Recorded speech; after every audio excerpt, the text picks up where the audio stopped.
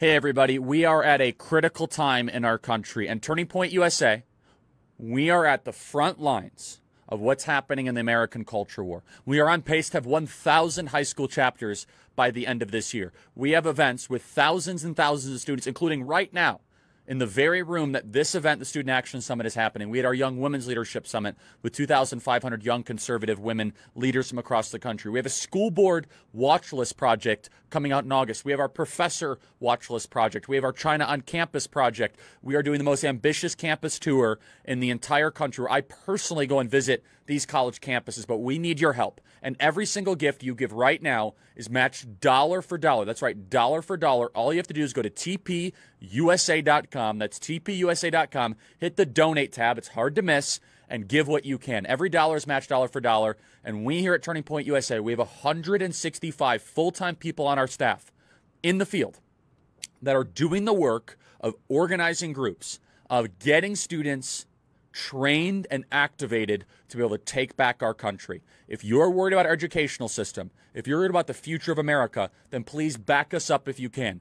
Give us the tools and the resources we need to keep growing. We are going to be hiring another 28 people just in August in just one project in particular, and 30 other people just to work on college campus type work. And you guys can help us at TP tpusa.com. That's tpusa.com. God bless you guys. Thank you so much for backing us. Remember, your gift is matched dollar for dollar at tpusa.com.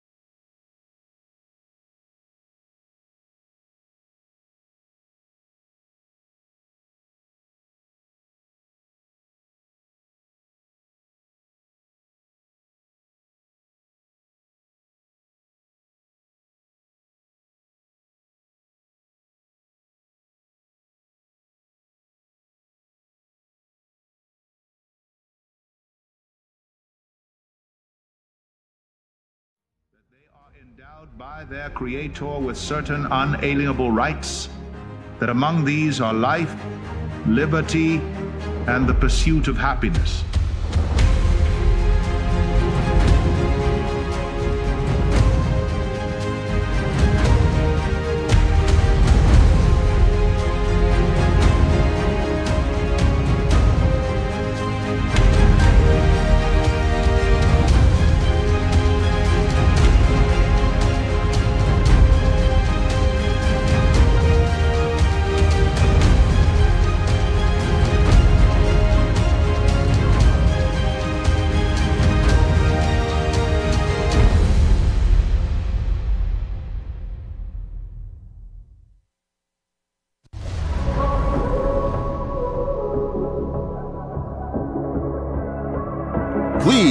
Welcome to the stage Congresswoman Kat Cammack.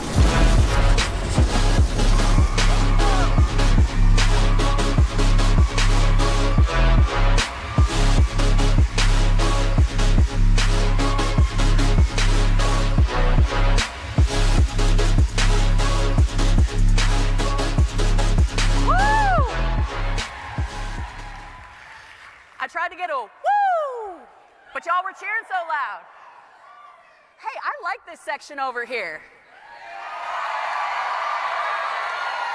There you go. Okay, all right, let's try this. Can I get a woo? All right, what about over here? Come on, y'all, we've got Ron DeSantis today. You got to get better than this. That's what I'm talking about. We've got Kayleigh today. We got Don Jr. today. That's what I'm talking about. Okay, so you guys have to excuse me. Charlie backstage just told me that I am not allowed to cuss. Now, those of you, now those of you who know me, you know that this is part of me. That's my brand. So, to substitute, I'm going to use some some backwoods lingo so bear with me. Y'all are going to get the real deep south, north central Florida Kat today. Now you're probably wondering why am I walking around carrying my phone? It's because I just got back from the border about 24 hours ago. Yeah.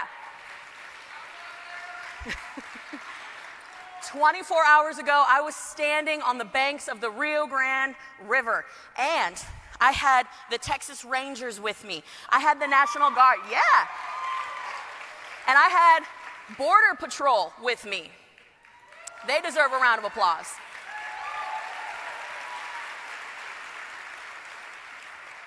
And I got to tell you, they felt so demoralized. We were watching coyotes bring little kids across, and these coyotes are talking crap to us. See, I cleaned it up, Charlie and they're talking smack back and forth. And I was talking to the, to the National Guard, to the police, to the Border Patrol, and they're like, we feel like nobody cares. We feel like nobody hears us.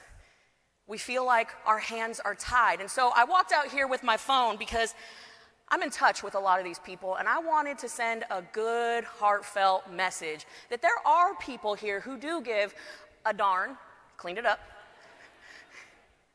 and so, if you would indulge me for our first responders, for our law enforcement, for our Border Patrol, for our Texas Rangers, for our National Guard, show them some love.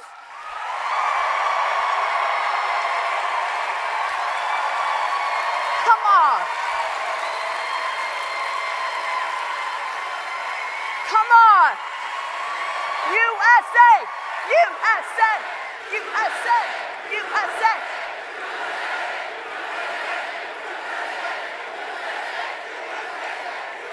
Woo!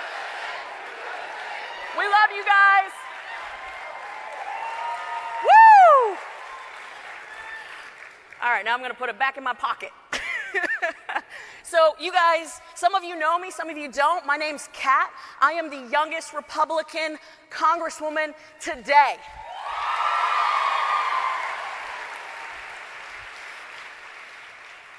And my story is a little unique. I was not planning on going into politics. I was never primed to do this. I was never asked to do this. In fact, people tried to talk me out of it. But I want to share my story with you guys because, quite frankly, whether it's here in the great state of Florida, in your hometown, in your state legislature, your school board, or heck, even in Congress, we need you. I need you. Because, quite frankly, being a millennial in Congress, it's a little bit lonely. It is. I mean, honestly. I can ask you guys and be honest with you guys because we get each other, right? I've got a battery pack on me, and if I tend say, well, does this battery pack make my butt look big? You'll tell me. You'll tell me if I have a booger in my nose, right? So I figure we're going to be honest with each other. We're going to we're going to have a decent, candid discussion. So when I decided to run, like I said, people tried to talk me out of it because I wasn't tailor made for Congress. I wasn't what they were looking for. See, 10 years ago, I was homeless. My family, we lost our small cattle ranch because of an Obama era housing program. That's right. Mr. Man of the People ended up taking 7 million American homes during his tenure as president. And at that point, after four and a half months of being homeless, I got pretty mad. See, Charlie, I cleaned it up. I got angry and I decided to do something. So I got involved. And I decided I was going to move across the country, work for a guy who felt as much passion to taking on big government that I did. And we won. For the last eight years, I had been serving as a deputy chief for this member of Congress. That's when I met my husband. Now, I gotta tell you guys, I got a super sexy firefighter husband. Yeah. I can say sexy. and, you know, we, we just made a life. And that's when I really became impassioned about first responders and law enforcement and all the things that they go through for us. And when it came time to make the decision, are we gonna run? My husband's like, baby, you really wanna do this? And I said, you know, only in America can someone like me, the daughter of a single mom, who just was homeless, go for Congress.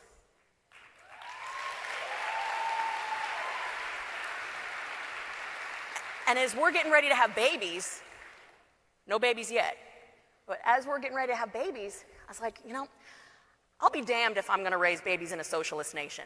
I'm not doing it. And I want to preserve I want to preserve that same opportunity that I had that allowed me to go from homeless to the House of Representatives. And so we did it. We jumped in. We were all in. And as you guys can tell, I'm not a normal politician. Just not. And so we weren't going to have a normal campaign, and we didn't. We didn't have normal campaign ads. In fact, we have chickens with ties running around in our ad. And the whole point was listen, politicians in Washington, they're a bunch of chickens. They'll run away from President Trump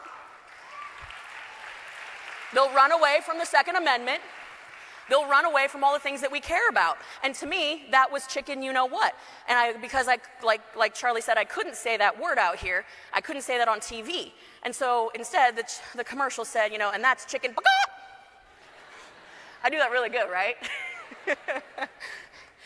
and when you think about it, it is chicken you know what. You know, I cannot believe, and I'm sure you guys are like me, we are at a point in our nation's history where we can't even agree as Americans on the issue of life. What is life? See, my mom, when she was pregnant with my sister at 27, she had a stroke two days before she was supposed to give birth.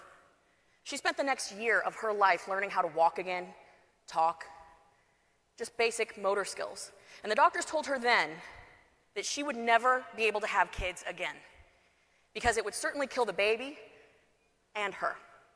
So, years later, when she got pregnant with me, the doctor said, Oh no, you need to abort this child. You're gonna die. So, she hid her pregnancy. She hid me for as long as she possibly could until her mom, my grandmother, found out. And she had one thing to say So, you wanna die? And you can imagine a young single mom scared to death being told by her doctors, by her family, that she's going to die if she doesn't abort this child. Now, one thing you, you'll learn about my mom is she's a total badass. I'm sorry, Charlie, I had to, I had to put that out there. She is. She is. All moms are.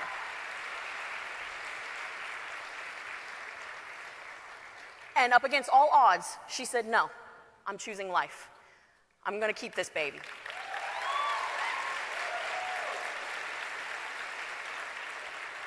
And so today, as I go through the halls of Congress and I talk to my colleagues about the issue of life, why it's so important that we uphold and defend and protect those most vulnerable.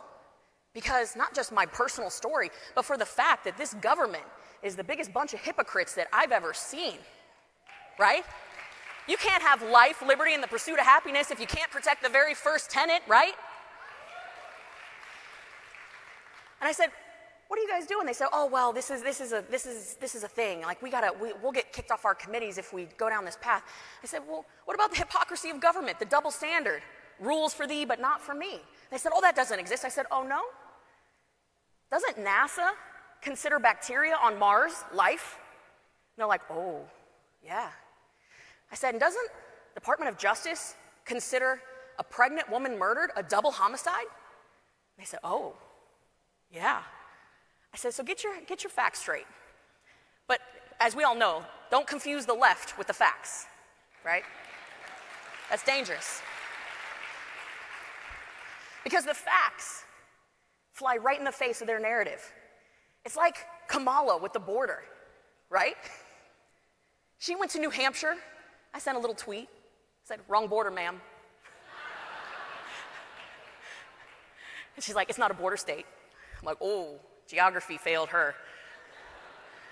I'm telling you, they don't like the facts. I'm on the border 24 hours ago. I'm watching cartels, Americans working for the cartels, bring these people across. People on the International Terrorist Watch List. People who are peddling drugs. Did you know that there have been enough drugs, enough fentanyl peddled across our border just this year to kill every man, woman, and child in the state of Florida nine times over. Nine times over. But we don't have a crisis, right? That's what the White House says. The White House wants us to believe that there is no crisis on the border, that all those people that are coming across, streaming across to the tune of almost 300,000, they're fake. They don't exist. Here in Tampa, they have a shelter started. Every single town in America is a border town today because of this administration. And you cannot protect your hometown if you don't protect the homeland. Am I right?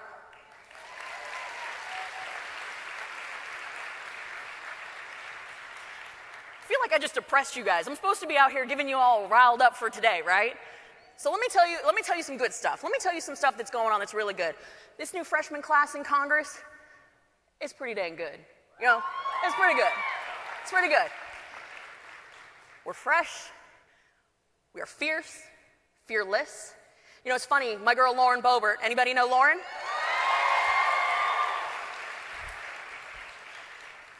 So her and I, we swap districts. She's from Florida, I'm from Colorado. We both represent each other's home states in the third district, so we get along great. And it's funny, we were doing an interview together. She said, I tweet Kat cusses, it works out great. But that's the thing. We need people who are more concerned about the country than they are their political career. And that is exactly what you have in this new freshman class. People who are willing to stand up. Yeah. People who are willing to stand up, who are willing to fight. People who give a darn. Whew, I've never said darn. That was unusual. I'm serious. And I tell you the stories about my mom, about being on the border, about my sexy firefighter husband. he has a Fu Manchu, y'all. He has a fire engine red Fu Manchu. You can't miss him. He looks like Mr. Bean, but like a sexy Mr. Bean. It works. It works. But I tell you all that because I want to tell you this. You guys are doing something that your peers are not. Your experiences today, leading up to this point in time in your life, are preparing you to protect and defend the homeland because our country needs you. People like me, people like Lauren, people like President Trump, people, patriots all across the country who have stood up and said, enough, we're not going to take it anymore. We're doing it because our personal experiences have led us to this point. And that's what the country demands in this moment. You are made for a moment such as this. So please, don't ever shy away from who you are know that your personal story, good, bad, the ugly, it all matters. It all counts. Because America needs your story right now. More than ever, we need young people, Gen Zs, millennials, at the table where we're not just sitting there listening, but our, our elbows are on it. My mom would smack me if she knew my elbows were on the table. But at the table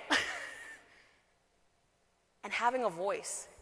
And if they don't listen, we turn that damn table over. because this is our country, this is our future.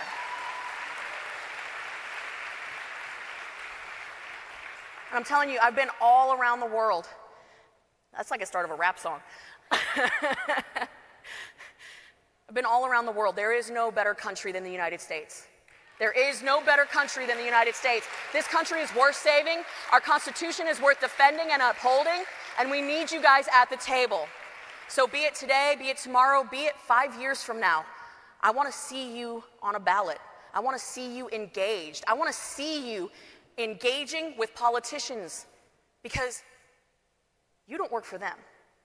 We work for you. And it's about time that we actually start acting like it. You guys, we've got a great day planned. Can we give it up one more time for the incredible speakers that are going to be here today? Don Jr., Kayleigh, and the best damn governor in the union, Ron DeSantis. Woo! Y'all, you are amazing. Let's have a great day. Enjoy this weekend. God bless. And thank you. Thank you, thank you, thank you. Love you guys.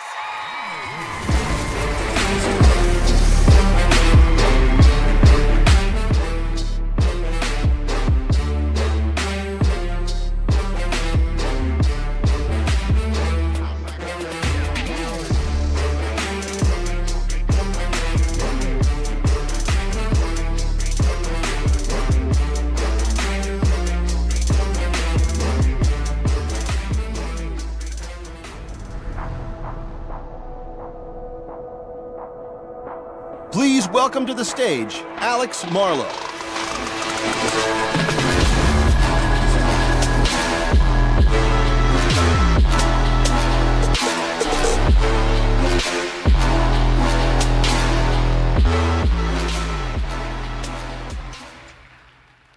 Good morning, everyone. Thank you for being here, especially all of you who were out late partying yesterday. I could hear you from my hotel room when I was trying to go to sleep. That's dedication. If you're here to learn and here to party, that's my type of people. I like that. Uh, I'm Alex Marlow. I'm editor in chief of Breitbart.com, and thank you. And I'm the author of the new book called Breaking the News, which is now a national bestseller. Thank you very much. Uh, and I will be doing a signing today at noon. So come by and say hi, and we'll say hello, and I'll give you an autographed copy. And uh, I want to talk to you a little bit about the book and a little bit about my favorite thing in the world, which is the news. Um, but most importantly, I want to tell you a little bit about my personal story. Because a lot of you younger people, you're starting off in the world, you're starting off maybe down a path of fighting for conservative values. And, and I've had the, the blessing and the privilege to be able to do that. Uh, but it wasn't always you know, what I'm doing now, which is sort of living the dream. I get to speak at conferences like this, I get to edit Breitbart, I get to be on national radio. All these things are really fun and enjoyable and high impact, but it wasn't always like that. It was a long journey. Uh, it was a journey that started in Los Angeles, where I went to a prep school in the middle of Beverly Hills. So these are a specific type of liberals that were there. It wasn't just liberals, it was elite liberals, elite Hollywood liberals. So this is where my journey begins, and it ends with me now getting to take on the establishment and the left full time. And this is a story that is so exciting because it took me to UC Berkeley, where I was a student there. Berkeley is the only place in the country where the communists actually admit they're communists. So we got a lot of communists in America right now. Just see all the people who won't stand up for the rights of Cubans to be free right now. There's a lot of, exactly. There's a lot of communists they just won't tell you they're communists, but in Berkeley, they'll actually tell you. And I somehow went there and I did well. Uh, and while I was there, I met a man named Andrew Breitbart. Now, how many of you are familiar with Andrew Breitbart? Love that. Andrew's legend is growing, but it has to grow more. He's got a great book called Righteous Indignation. If I make one recommendation, go on YouTube and watch the video where Andrew hijacked Anthony Weiner's resignation press conference. It, it, it's, it's a thing of beauty, some of you know. Uh, but I met Andrew, and he's a new media pioneer. And he built this empire with Breitbart.com, and so he launched so many careers, uh, including some of the people who you're hearing from today Charlie Kirk, Dr. Gorka, and many, many others went through Breitbart before they went anywhere else. And one thing he did is that he understood the viral media and he understood how being a happy warrior was essential. You can't just have the best values, and you also had to have the best mindset. And that mindset involved having two modes. The first mode was jocularity. Andrew Breitbart could joke with the best of them. He understood the power. He was like the original memester before there were even memes. He understood that mockery, ridicule, having a good time with your political foes was the best way to expand, uh, was the best way to expand your field of vision and the people you could appeal to. But he also understood righteous indignation, meaning that you don't give an inch to the left. These were incredible values, and I went in and I saw this vision. I saw his vision for a new media company, and I thought, okay, I want to do it. Sign me up. I want to be a, what are we doing again? Okay, we're blogging. We're bloggers. I want to be a blogger all of a sudden. And so I was a blogger with Andrew. But was I? Not necessarily. And I want to share this with you guys because even though my title was associate editor at the start, it wasn't just editing. There was sure there was some editing, but there was a fair bit of picking up dry cleaning, there was a fair bit of picking up groceries, and there was a fair bit of being a designated driver. Those of you um, who are, uh, grew up uh, before Uber and Lyft, you actually had to have someone, if you're going to go to a bar, you had to actually have someone be assigned to drive you home. It was amazing. It was a, it was a totally different time. I bet that feels like a thousand years ago to you guys. Uh, but I was the lowest person on the totem pole, and then I found something that I could be really, really good at. And I share this with you because everyone values being well rounded. I value being well rounded too. But I realized that I could write a really great headline, and I honed that skill. Now, I'm not saying you all have to be great headline writers, but I'm saying if you find a skill where you can really be great, that drastically increases your value to your company, it drastically increases your value in your life. This is a crucial lesson. Because the way we structure academia, the way we structure school, it's all about everyone. You do 45 minutes of math, you do 45 minutes of reading, you do 45 minutes of PE. It doesn't make any sense. Because in your life, the way you distinguish yourself is you become really terrific at one specific thing. And for me, that thing was, was headlines. I learned the right balance of language and cadence and rhythm and trying to paint a mosaic, often using emojis. I like to use emojis sometimes. Those of you who go to Breitbart know. But sometimes we bring out the clown emojis. We're using from Mark Milley this week. That guy got the clown emoji. It's a, that guy's white rage, man. His white rage knows no bounds. Um, but this is a crucial thing because this helped me move on my way, but I wasn't quite on easy street yet.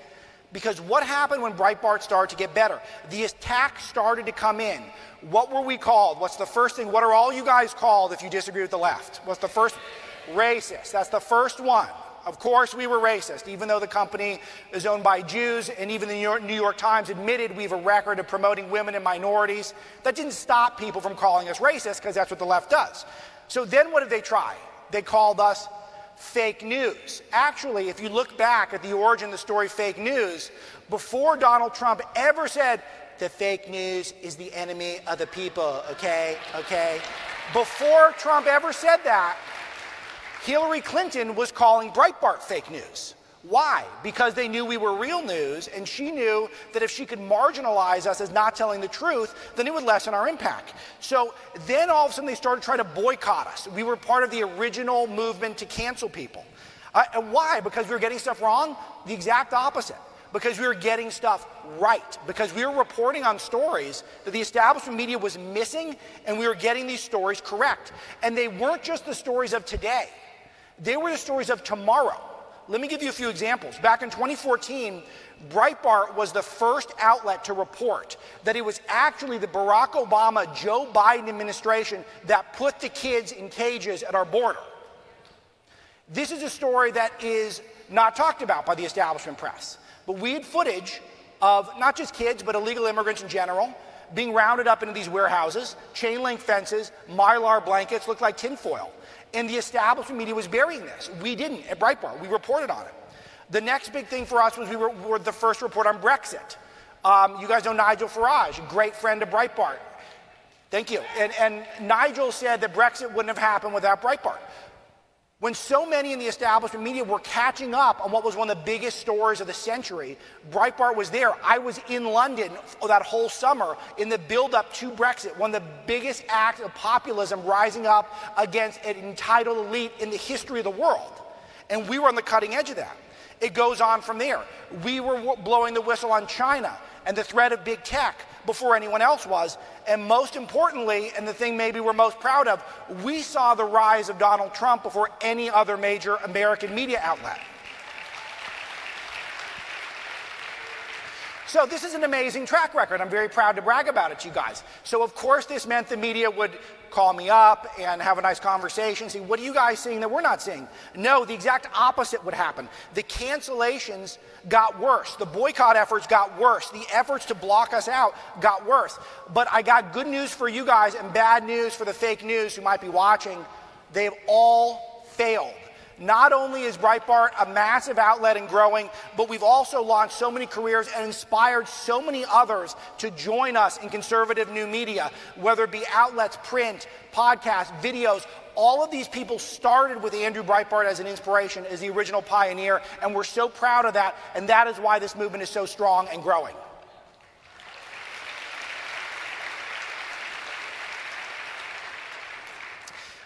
But here's the big message for all of you, no matter what you're going to be doing in your life, is that we live the only way I believe you can live in this modern cancel culture era. That's living boldly, living loudly, leaving nothing on the field when you go to battle. And even though these risks were massive, this was a righteous path. But it wasn't just a righteous path, it was also an effective path. Look at the state of the conservative movement today they're almost in lockstep on the values that Breitbart's been talking about for the better part of a decade. Everyone's for a strong border now. Everyone's anti globalism now, anti elitism, anti corporatism, anti Chinese Communist Party, deeply skeptical of the tech oligarchy, pro rugged individualism. And best of all, we all believe the fake news is the enemy of the people. Okay? Okay? These aren't just popular positions, these are very popular positions. So I wrote this book, Breaking the News, and so many people bought a copy that the New York Times was actually forced to put it on their bestseller list, even though it's got an entire chapter on how horrible the New York Times is. How cool is that? But the premise of the book, the original thesis, and it goes much deeper than this, it goes into election integrity issues, it goes into big tech censorship, it goes into a lot of stuff. But the original thesis that I was going out to talk about and, and research, it was a year of research, 1,200 endnotes, by the way, that's why you can't call it fake news. Uh, it was to explain how the establishment media went from being a liberal bias, like, okay, we get it, they're liberal, they like Democrats. It was beyond that. Once Donald Trump came down that escalator, something clicked in their brain. And all of a sudden, they became weaponized. They became weaponized against Donald Trump and his supporters, people like you. So it's not just that they're biased, it's that they are trying to destroy you. This is a lesson that Andrew Breitbart got from Rush Limbaugh and passed it on to me and so many others. They're not trying to negotiate. They're not trying to convince you or win you over. They're not trying to compromise with you. They're not trying to have a civil discussion with you. Some liberals are, and they end up here at events like this, not at liberal events. But the left is trying to destroy you. So, Andrew gave us the tactics to fight back. But the first one is you must join this culture war right now. If you're sitting at home, if you're on the fence, we need you. Enlist right now. You have to be a part of it. And let me say for the fake news, I disavow all political violence. I disavow all political violence. You got to say that stuff because they'll take you out of context. Many of you are doing this. And that's why the Joe Biden agenda is nowhere. It's stalled out. How's H.R. 1 doing? It's nowhere, right? How about the infrastructure plan? Did you guys catch that Chuck Schumer has called the infrastructure bill for a vote next week? No one's read the bill. No one's seen the bill. The bill doesn't exist. And they're already going to try to vote on it next week. It's an act of total desperation. Why is this? Because the right is in lockstep. They don't want to pass the green new BS that they're going to pass off as infrastructure that's going to cripple the economy. The federal judge just overturned DACA last week, DACA amnesty. It's an amazing thing, something that would have been unfathomable. And now, one of my favorites is that these anti science mask mandates. How many of you have masks on, by the way? It's a, it's a big crowd here. I don't see one. The anti science mask mandates are becoming a joke, which is a good thing. That people are seeing through the Biden administration's lies. But we do have a lot of work to do. Uh, before I came on today, I was pulling up some numbers on inflation. Some of these are pretty scary. Car rentals are up 87% since Biden took office. Used cars, 45%. Gas prices are up 45%. I filled up for 100 bucks this week. It was $100 to fill up. Airfare's up 24%. Moving's up 17%. And here's the scariest one of all the price of bacon is at an all time high. Now you lost me. This is the Biden inflation. Can you guys say it with me? Biden inflation. And this affects you. This is a regressive tax on working class people, middle class people, and poor people. Who has a longer commute? Working class people have a longer commute than middle class people. White collar people, they can sit at their desk, they can telecommute, they can work from home. The people who are the working class, they're the ones with a longer time in the car. They're the ones who are getting killed at the pump. The establishment press is not going to hold Joe Biden accountable for this. Only you guys can. There's also a surge of illegal aliens at our border, which is very disturbing. But did you catch that the biggest concentration of illegal aliens, which state do they want to go to? You guys notice this? How many of you know? Florida. They want to go to Florida. So this is the biggest concentration. So we're this racist country, and all these people, presumably most of them are brown people, are still coming to the country, and they want to specifically go to the state that's Donald Trump's adopted home state. And we're supposed to be told we're all racist. It's a horrible place. America's what a horrible place. It's still frightening, though, because they are coming in with these drugs and they are part of this industry of human trafficking where they're smuggling human beings. And while we don't know every illegal alien that's coming over the border, the cartels know every illegal alien that's coming from the south up through America. It is all an industry, a massive multi billion dollar industry enabled by the United States government who will not secure our own border. This is why we need to stand up. And if we don't stand up, you might take a look at a place like Los Angeles that's now bringing back the mask mandates, even though they go against science. There's something darkly funny about this to me because if the masks are coming back, doesn't that prove that Joe Biden failed in his efforts to stop the coronavirus? Like, it, it's kind of a self own, it's kind of the left dunking on itself. They do that sometimes. So, and of course, I have to mention for a second time that Joe Biden and our evil media why won't they stand up for the, for, for the Cuban people who are standing up for freedom against communist oppressors? I don't get it. This is a black and white issue. This is as clear cut as it gets, and they won't do it. So I know many of you can't wait to vote in 2022 and 2024. I know that. But we can't wait that long. And if you're here, that's a good thing. But if you're at home, if you're thinking about it, if you're thinking about what your next move is in life, we cannot wait till 2022. We have to get involved now. It starts with just being vocal, simply being vocal, raising your voice at home, in your communities. I recommend reading your Bible. I recommend reading the founding documents, getting wisdom from these things. These things will help you hone your arguments. I want you to support businesses of people who share your values. And I want you to start your own businesses that carry these values America First conservative values. Judeo Christian values.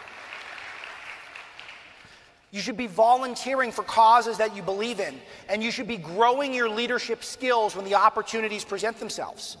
This is how you build strong communities and build strong families. And most importantly, and this is my favorite recommendation of them all never miss an opportunity to own the libs. Please, never, never. So, if Donald Trump and his team are correct and the best for this nation is yet to come, it is going to take all of you. This is a huge battle, and the left is deeply, deeply engaged on it. It's going to take all of you to fight like Andrew Breitbart, fighting for freedom with all you have and enjoying yourself every step of the way. Thank you. I'm Alex Marlow. Check me out at noon today. God bless America.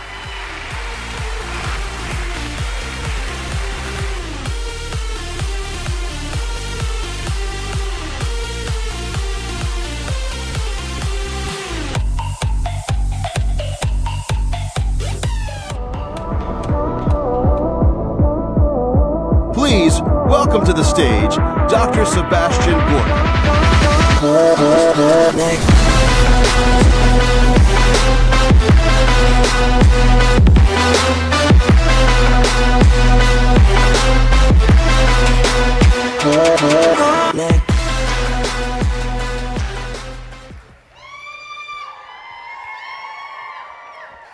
Good morning, Patriots. All right. Alex is going to go backstage to recover from the fireworks. I'm not sure he's used to that. And uh, we're going to have some fun. It is a great honor to be here today, especially to talk to you about why you are here. Because I know why you are here. You are here because of what we have witnessed in this, the greatest nation on God's earth, for the last year and a half.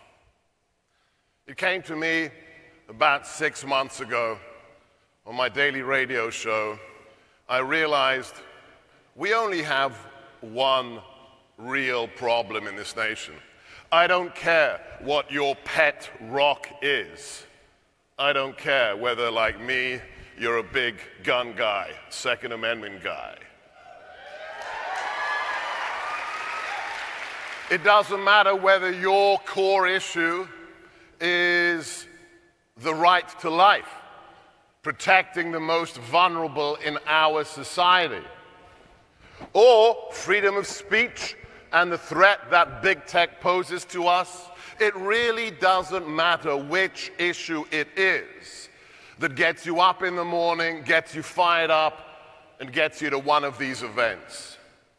Because whatever the issue is, the one challenge we have as Americans, as patriots, as citizens, and not subjects of this, the greatest nation on God's earth, is courage. Look Look at the last year and a half. Look at how millions of Americans, your relatives, your friends, people you looked up to, knelt at the altar of big government, genuflected in front of St. Fauci and his fascist diktats. A man who said, Oh, you don't need masks. Oh, you need masks. Oh, you need two masks. The man who denies the science of a disease. Yes, Mr. Zuckerberg. Yes, Jack Dorsey. You can try, you can try to censor us, but I don't deny science. I look at the data. I've seen that the China virus kills less than 1% of the people it infects. I've listened to real medical professionals like Dr. Mark Makary, who says when it comes to children, the future of our nation, the mortality rate from COVID is 0.05%. So every time you keep those kids at home, every time you put a mask on them, you are committing child abuse.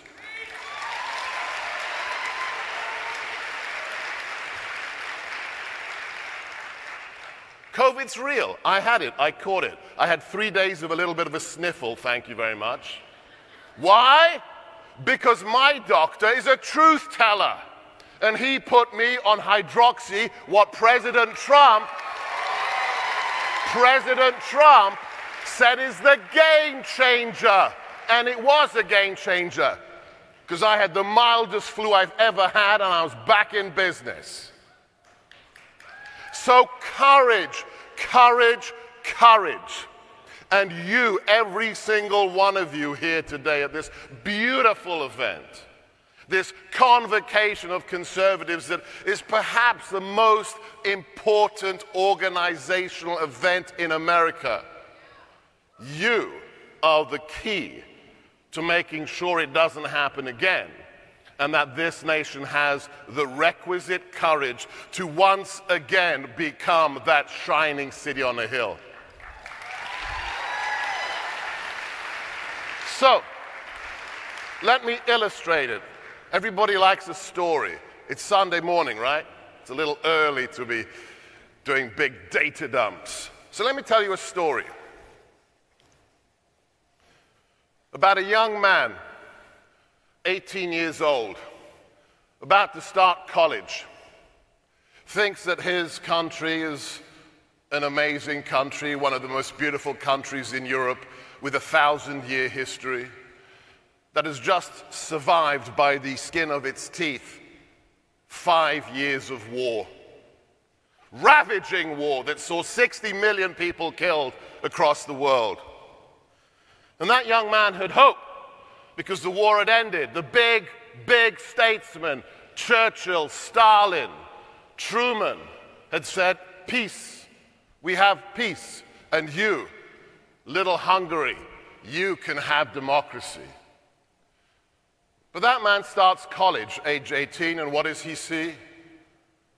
He sees the devastation of a nation ravaged by war, replaced by the devastation and the ravages of creeping communism. His beautiful homeland is taken over one by one. The Communist Party intimidates, beats up, or murders anybody who tries to get in their way. The national economy is slowly ground up into a machine controlled by the Soviets in Moscow. And this young man says, This isn't what they promised us. Where's our freedom? Where's our democracy? So, what does he do?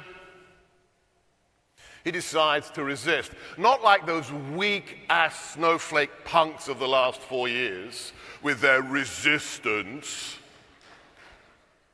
I mean a real resistance.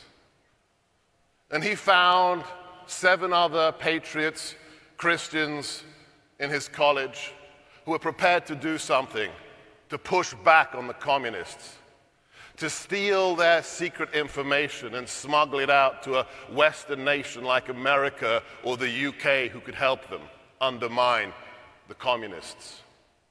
And he was successful.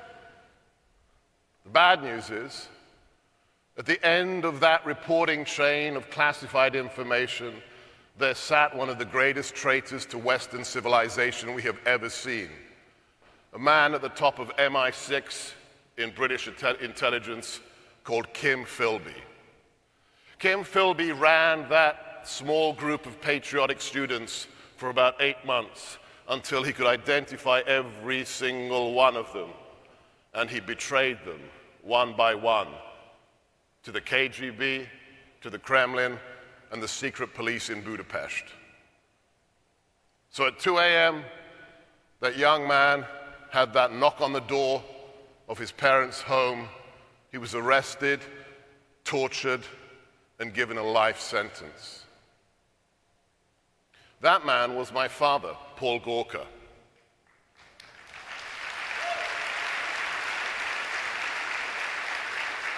And thank the good Lord, after six years in a literal hellhole of a political prison, two years in solitary, two years down a prison coal mine.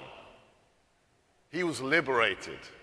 His fellow patriots in 1956 captured a Soviet tank, bust down the gates of the prison, and freed all the political prisoners like my father.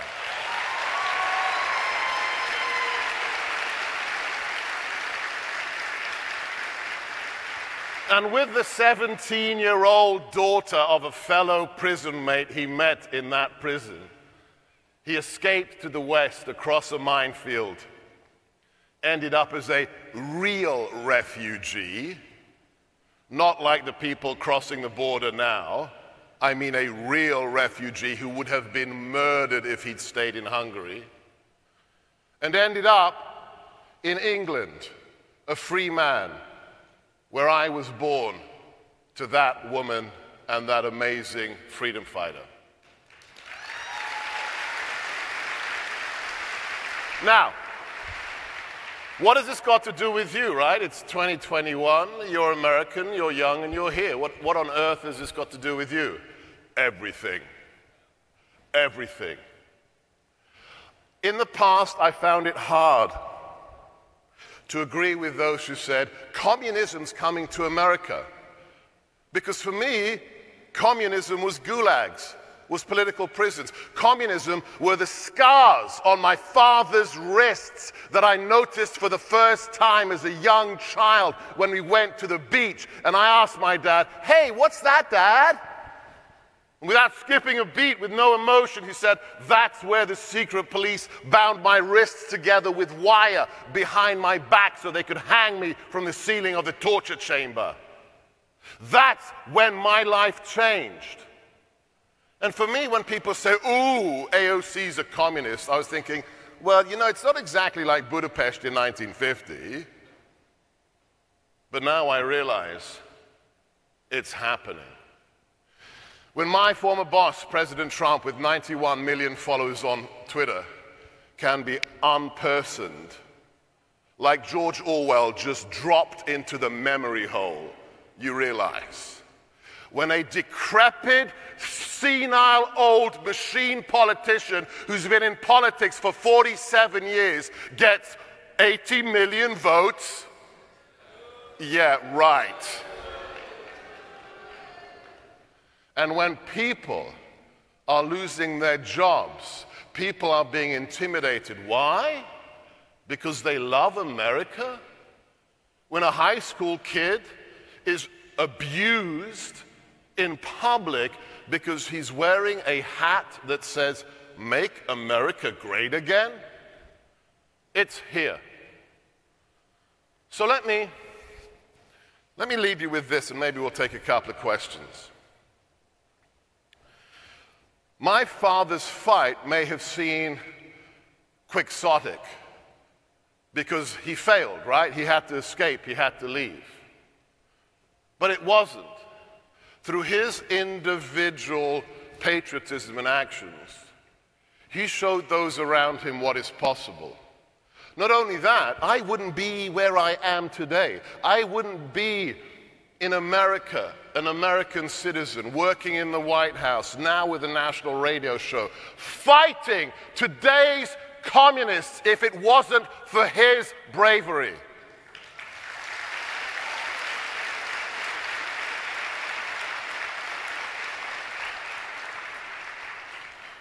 So I want you to understand one thing. I have massive respect for all of you.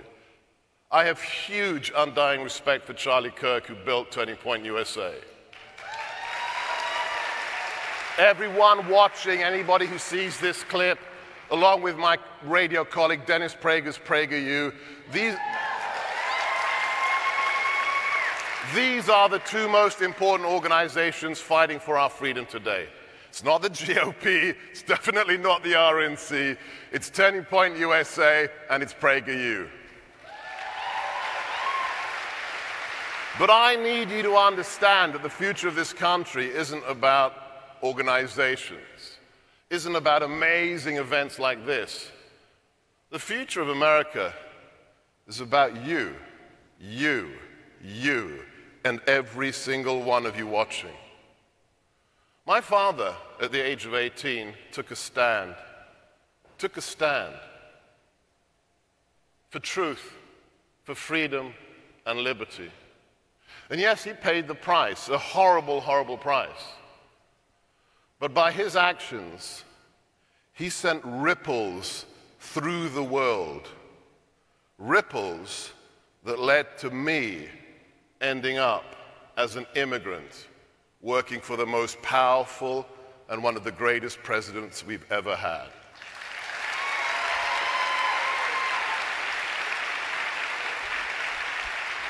So, my message for you today is keep doing what you do. Spread that light of truth so we will once again be that shining city on a hill. And never, ever stop fighting.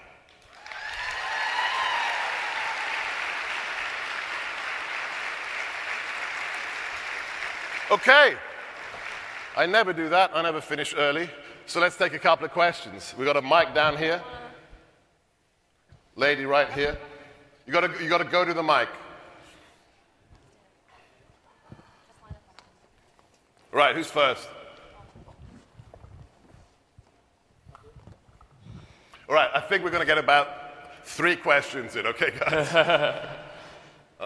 I just want to say I really appreciate your message. The first time I saw you, you were with John Lovell with Warrior Poet Society. Awesome. Riley Warrior, Warrior Poet Society, amazing, amazing. Yep. Check him out. Uh, one of the quotes that he has is Courage has died and we do not mourn her. Uh, how do we, in practical ways, not just in the college campuses and high school campuses, but also beyond that, into our adulthood and careers and wherever we are, how do we take that energy, that fire, and put it out into the world even to show that, hey, we don't want courage to die. We yeah. want to bring courage back. All right, let, let, me very quickly answer that with a story. About three months ago, my wife and I were invited to speak at a GOP event, not a GOP, a, conservative event in Virginia at, at the Trump Golf Course. Wonderful group, like 300 amazing patriots. And as soon as I entered to the ballroom, this lovely lady comes up to me in a ball gown and says, Hey, Dr. G, can I get a selfie? I say, Sure. We take the photograph, and then I say, Don't forget to tag me when you post it. And then her face changes, and she says, Oh, oh I can't post it.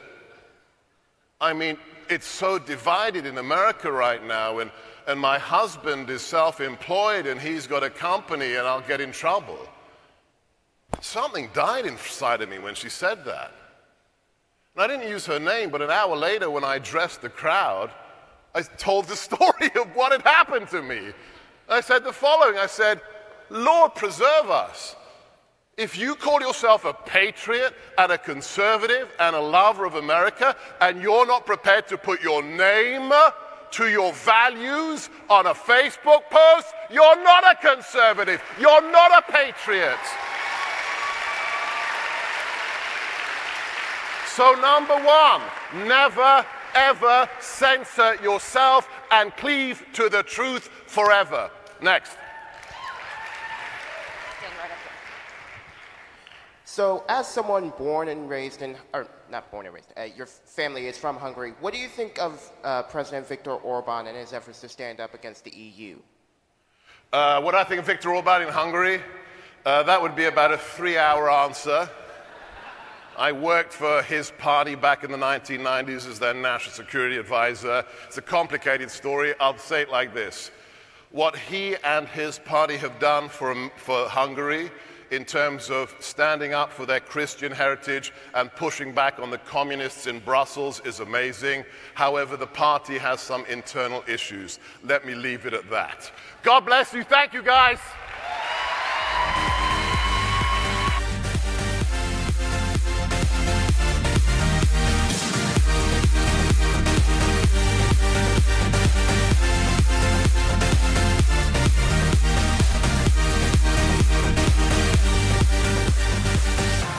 Life, liberty, the pursuit of happiness. No country in the world has been created with stronger or clearer founding principles.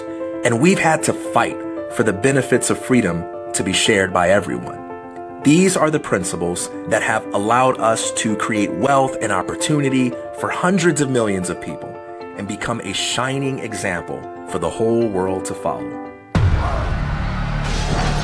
Right now, our grand American experiment is under attack. The principles that built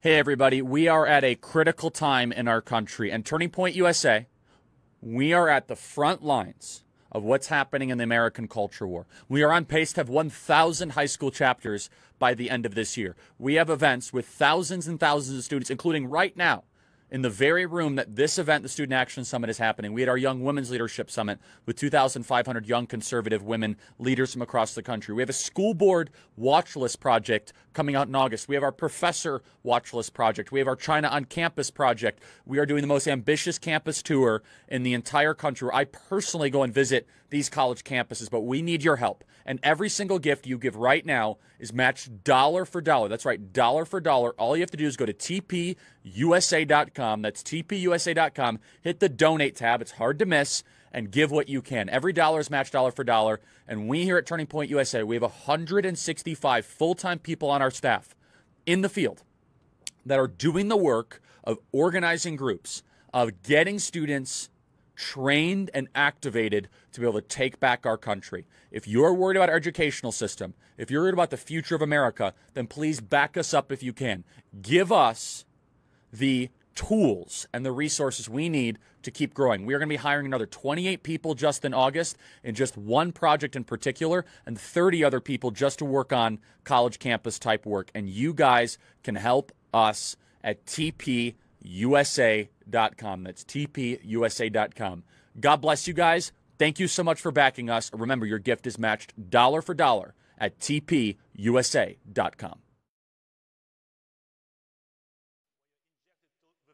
until your brain melts. That's what you get for being anti-communist in communist countries, as opposed to being anti-capitalist in capitalist countries. Another thing, I mean, any idiot can take an American flag in US and burn it. And I say idiot on purpose. Try burning a Soviet flag in Soviet Union or a Chinese flag in China and see what that gets you. My point is um, that socialists of all sizes and, and, styles, they don't like United States. And the reason why they don't like United States because it's all about life, liberty, and pursuit of happiness, which they hate. And the reason why they hate that, because as a person, as an individual, you hold no value to the collective. They, they don't care about your ideas. They don't care about what you, what you want to do. They care what they want to do.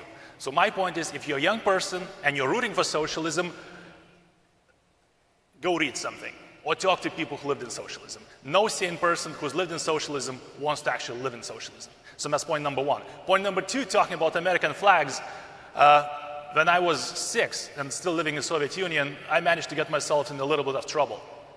Long story short, we lived in a white block of white brick block apartment complex, and next to us lived the Russian officers in a red brick uh, apartment complex. So what we did one day, somehow we realized since we live in a white brick house, we are the White House, and they're the Kremlin, because they're red and Russian. So we made these little tags with American flags on it, and went taunting our, I guess, Russian friends. And uh, because we said, you know, we Americans, we come from the White House. And what happened is obviously our parents gathered us very quickly and told us not to ever do that again. So that's once again, that's socialism. You get in trouble, or you could potentially get in trouble for what a five or six year old does. That's all about, uh, that's how little freedom uh, is in, uh, in, under socialism. The reason why I'm saying that, because this is as powerful today and or as important today as ever. Life, liberty, pursuit of happiness. The reason why socialists hate them is because they are ideas. And the battle of, of ideas is still raging. It's not the power, it's not the money that control the world, it's actually the ideas. And right now in this country and throughout the world, we have some very dangerous and bad ideas that sort of resurged. Now, we all thought that in the 90s, when Soviet Union collapsed, that socialism has died. Unfortunately, it has not. Just like a virus, a disease, it basically crawled back into where it came from and it mutated. And after 30 years of indoctrinating the young, after 30 years of indoctrinating the academia, socialism is back in force. And it's up to us, it's up to you uh, to fight it. How do we do that? Well, we at Foundation for Economic Education believe that any policy victory without winning the battle of ideas is going to be short-lived. So what we do, we go to classrooms, we go online, and we talk to young people. Young people like you, 16 to 22, we think that given a fair hearing, capitalism will win anytime. We go to classrooms, we go online, and you know what's the most interesting feedback we get from students? Uh, last year we visited 20,000 of them in their classrooms. They say, why have I never been told about this before? Which just basically shows that young people, most of them are not really socialist, but the fact is they're being disinformed, misinformed by accident or by purpose. And whenever we tell them how capitalism really works, uh, they actually change their mind. I hope we can do this. I hope you can do this. This is the battle of ideas, and it's much more important uh, compared to what, whoever, whatever infrastructure bill is passed or who wins the elections. If we lose a battle of ideas, if US drops the ball and turns socialist, imagine what's going to happen to the entire world. What country but the United States can actually carry the torch of liberty? If a US turns socialist, I'm afraid that's pretty much it. The whole world will actually turn socialist. So it's up to me, up to you, up to Foundation for Economic Education, up to TPUSA to go out there and talk to people who don't think like us and convince them that actually capitalism, free market, liberty, and America are probably the best things in the world. Thank you.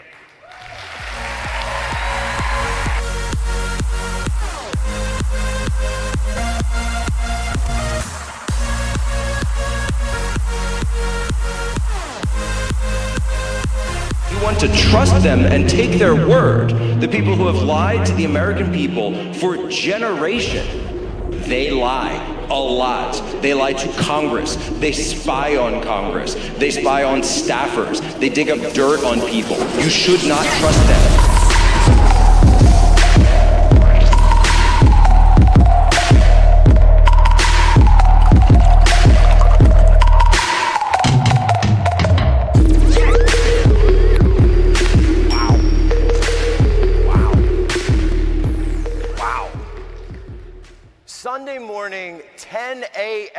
I said, if this was CPAC, the crowd would be dead. But this isn't CPAC, this is Turning Point.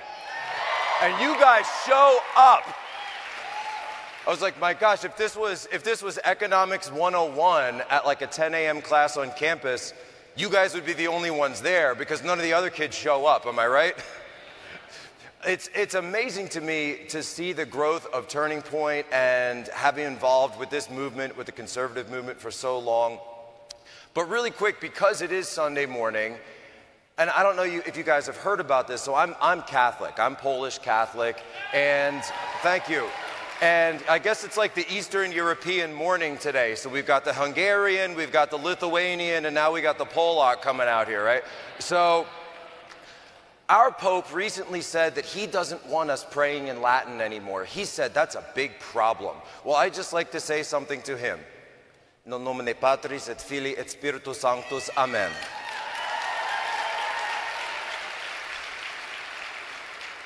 And I want to make a point about that because that's tradition, right? And tradition is the most important thing that we have. Tradition is not the worship of ashes. Tradition is the preservation of fire. It's the preservation of who we are as a people. And when you look at that kind of idea, isn't that what this fight is all about here in the United States of America? They want to take away our values. They want to take away our traditions. They want to take away what it means to be an American citizen.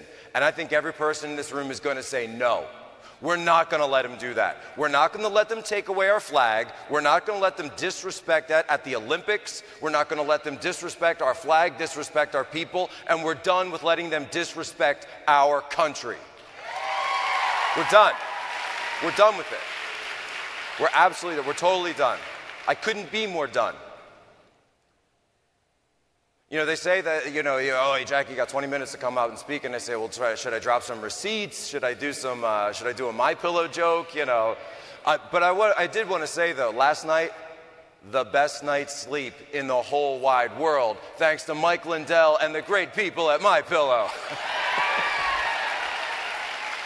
and it's incredible to me, it's incredible to me that when Mike Lindell says, hey, I want to ask some questions about the election, suddenly everyone in the country turns, turns on him and they attack him, they go crazy. And I said, I don't understand. Joe Biden, he goes up to Philadelphia and he gives a speech and he says, Come on, man. I'm the most legitimate president in history. I'm so legitimate. Look how legitimate I am. I'm like, Joe, why are you doing the whispering thing? You got to stop, man. We have a microphone. That's what they're for, right? You're talking about a guy who, like, have you seen him when he goes to eat his ice cream and he makes like a full mouth and he's like, who does that? Right? Who is he? I, and, I, and I said, well, it's simple. Somebody asked me, they said, they said, why does he do that? And I said, well, you don't have to worry about brain freeze when your brain is already permanently frozen.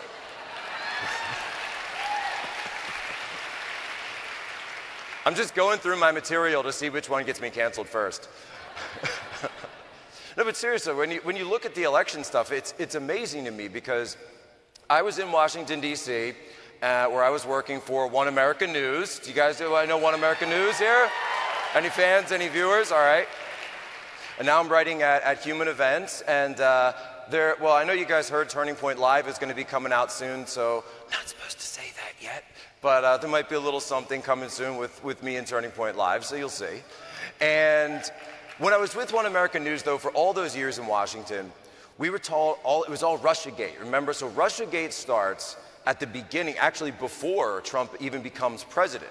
That's when this dirty dossier comes out. Jake Tapper's on CNN, and he says, We all have to listen to this thing. It's very important. And BuzzFeed, you know, the paragon of journalistic value, BuzzFeed, tells us, Oh, look at this, this dossier. It's very important. And they said, We're going to have to investigate it.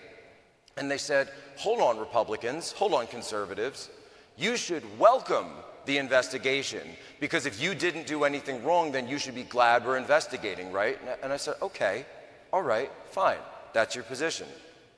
Well, when it comes to the election audits, you should welcome the investigation because we're just trying to prove that you didn't do anything wrong, right? You should welcome it. You should be happy, Joe Biden. You should be glad that we're going in here because let me tell you something. If you don't have election integrity, if you don't have secure elections, then you don't have a say in your government. You don't have a Republican version, small r, of democracy. You don't, and if you don't have that, you don't have a country. You don't have a country if you don't have secure elections.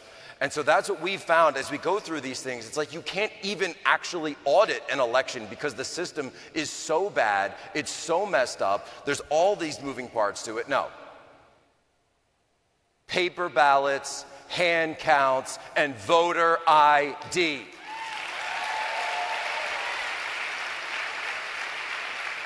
You know, it's amazing. I was interviewing, um, I was interviewing a guy from, uh, I just thought of something he said that definitely get me canceled, but I'm going to say it anyway. Um, so I was interviewing a guy from France, and it was, it was uh, uh, just after, it was like early January, um, or no, excuse me, late January. And he, so he comes over, he's a, he's a conservative over there, conservative populist. And he was saying, he's like, I don't understand why they're all talking about January 6th. They said this was insurrection. They said this was cool, believe me. In France, we know how to do coups, you know, chop chop. this was not a, this was not a coup. this was a protest that got out of hand. But and then and then he goes, how can you have elections without voter ID? How can you have elections with these? And it goes into a machine and you can't find where your vote is. You can't find it's only separated. Nobody around the world does this like us. Nobody has these programs. They don't do it, they don't have it. They looked into it. In France, all of that stuff has been banned since the 1970s. In France, they're ahead of us on this. So I wish, uh, you know, I never thought I'd say this, but I wish we could catch up to the French when it comes to election integrity, right? It's amazing to me. So, yeah. Yeah, so we're talking to the French about this. We're getting ideas from there. We're getting interest from there. And then I hear, and I, I actually broke this story a couple of days ago, and I, heard, I said the White House is putting together lists. And they are putting together lists of who?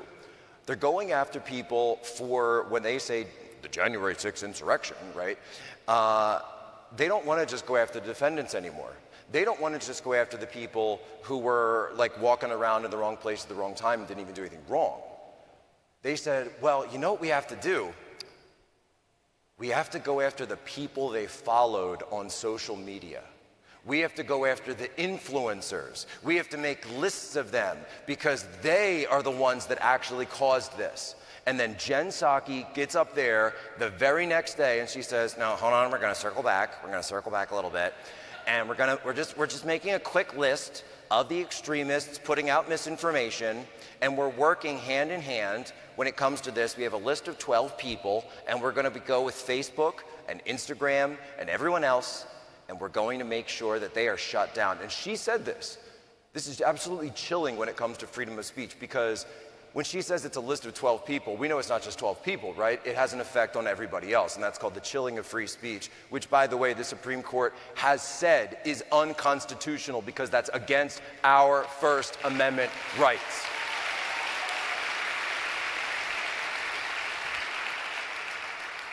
But I got to thinking, I said, my goodness, who could it be that's on this list of 12 people? Who could it be, who could it be that was spreading misinformation about the vaccine? And I thought, I'm gonna have to go check the receipts. Folks, you knew you weren't gonna get through this without a couple receipts. So this is going to work and it's totally going to play.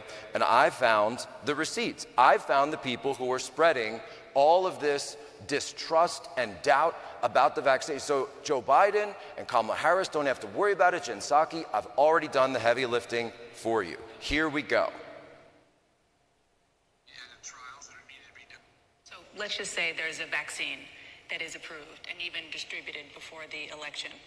Would you get it?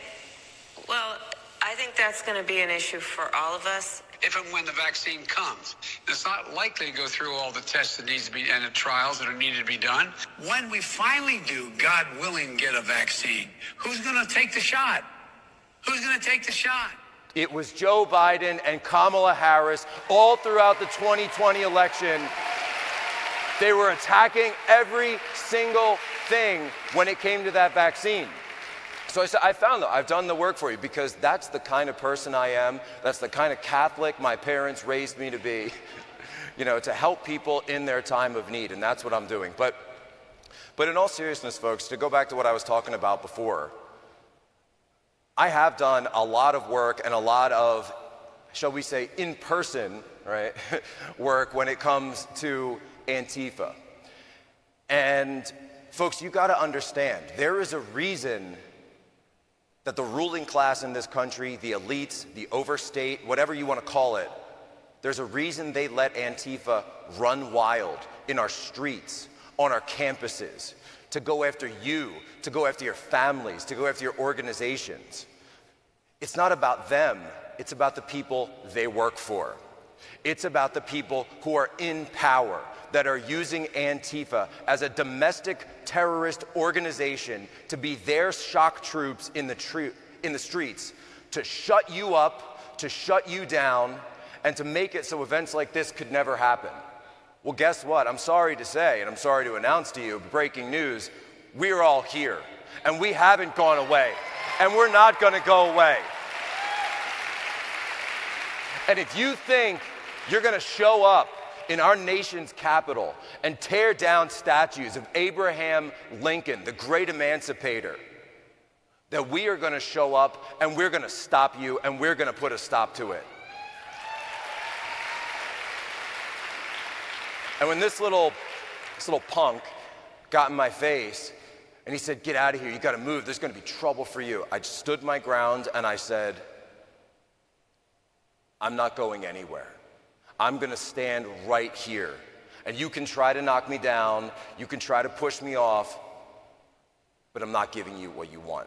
Because Americans are going to stand for our country, we're going to stand for our tradition, we're going to stand for our values. And I don't know, maybe it was, it was uh, I, don't, I, don't, know if we have any War Room fans out in the crowd. Anybody watch? Yeah, a couple War Room fans. And so something that uh, on War Room that, they, that uh, Steve likes to say is he goes, he goes, you know, there's something about you, you Polacks, you Slavs, you people from, the East, from Eastern Europe. And I said, Steve, it's simple. If you understand the history of Poland, and if you understand the history of that area, and I didn't realize that, you know, we are going to have the Lithuanian and the Hungarian speaking as well, so it's so perfect that we're getting this. When you're out there and someone comes up to you on one of these campuses and they say, Well, you just got to understand communism, and true communism has never really been tried. And we, you know, it's such a great policy, and it's so great. I said, Really? Is it working out for the people in Cuba? Because I don't see them hanging up the hammer and sickles out in Cuba. No, they're flying the stars and stripes of the Star Spangled Banner, the red, white, and blue, because they understand that that means something different.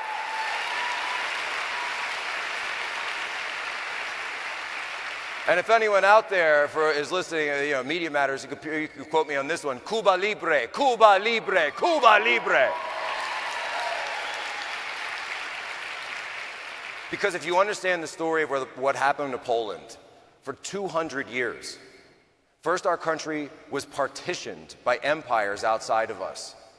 Then we were invaded by Nazi Germany and the Soviet Union in the exact same time. After that, we were under the communist rule of the Soviet Union all the way up until the 1990s. So when I say to somebody, hey, you think you're, you're into communism, you think you care about communism, have you ever actually talked to someone who lived in one of those countries, who actually lived under the boot of the communist heel? And they just kind of shrivel up and back away. Because I'm here to tell you, folks, Talk to people in my family. Talk to my, my wife is here. She was born in the Soviet Union and she made it to America. And you ask her, why did you come to America? She said, this is the land of opportunity. This is the land of freedom. This is the land where human agency and human values and human life is allowed to flourish. And right now, we have people that are trying to shut all of that down. So if I have any message that I want to share to all of you here today, is that we're not going to let them shut it down. But we can't just be people who say no, who say stop, who say don't do it. You can't define yourself by what you're against. You have to define yourself by what you are for, right? By what you're for. And we're for America.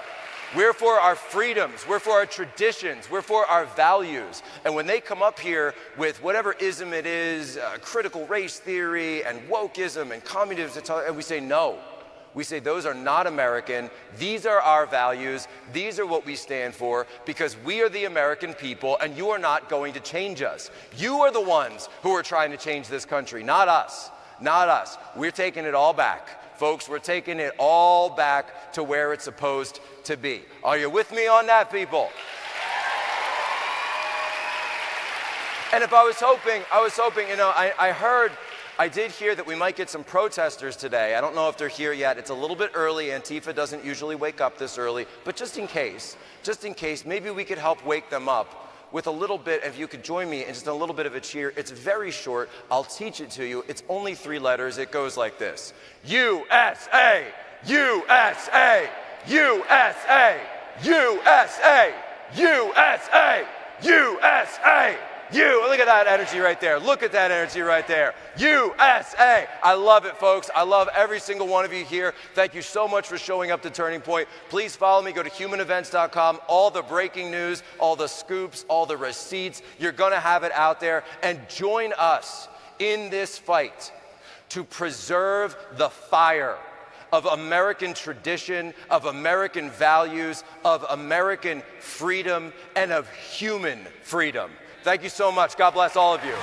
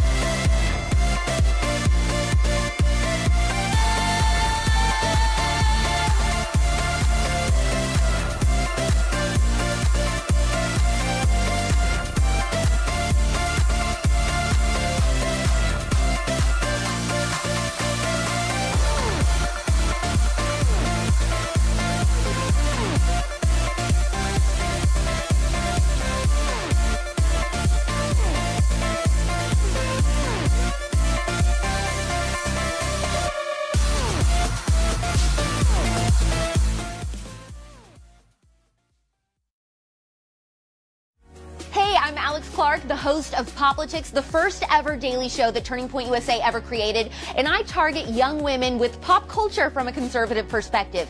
To support shows like mine, please go to tpusa.com slash donate.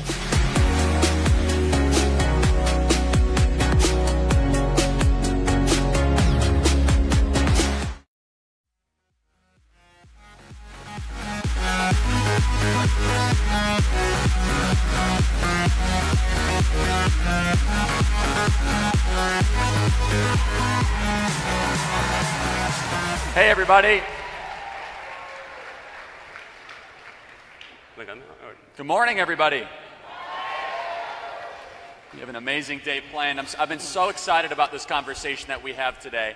Uh, with us is Sohrab from the New York Post, we just had an amazing conversation uh, on the Charlie Kirk Show, and Josh Hammer from Newsweek, and we wanted to have this discussion around different religious views all agreeing that we need to save Western civilization. And I want to kind of start this conversation first um, by asking what is Western civilization. So we're going to talk about this from an evangelical Protestant standpoint, from a Jewish standpoint, and then a Catholic standpoint, uh, which I think is going to be really fun and exciting. So, Josh, welcome, and uh, walk us through, first of all, what is Western civilization?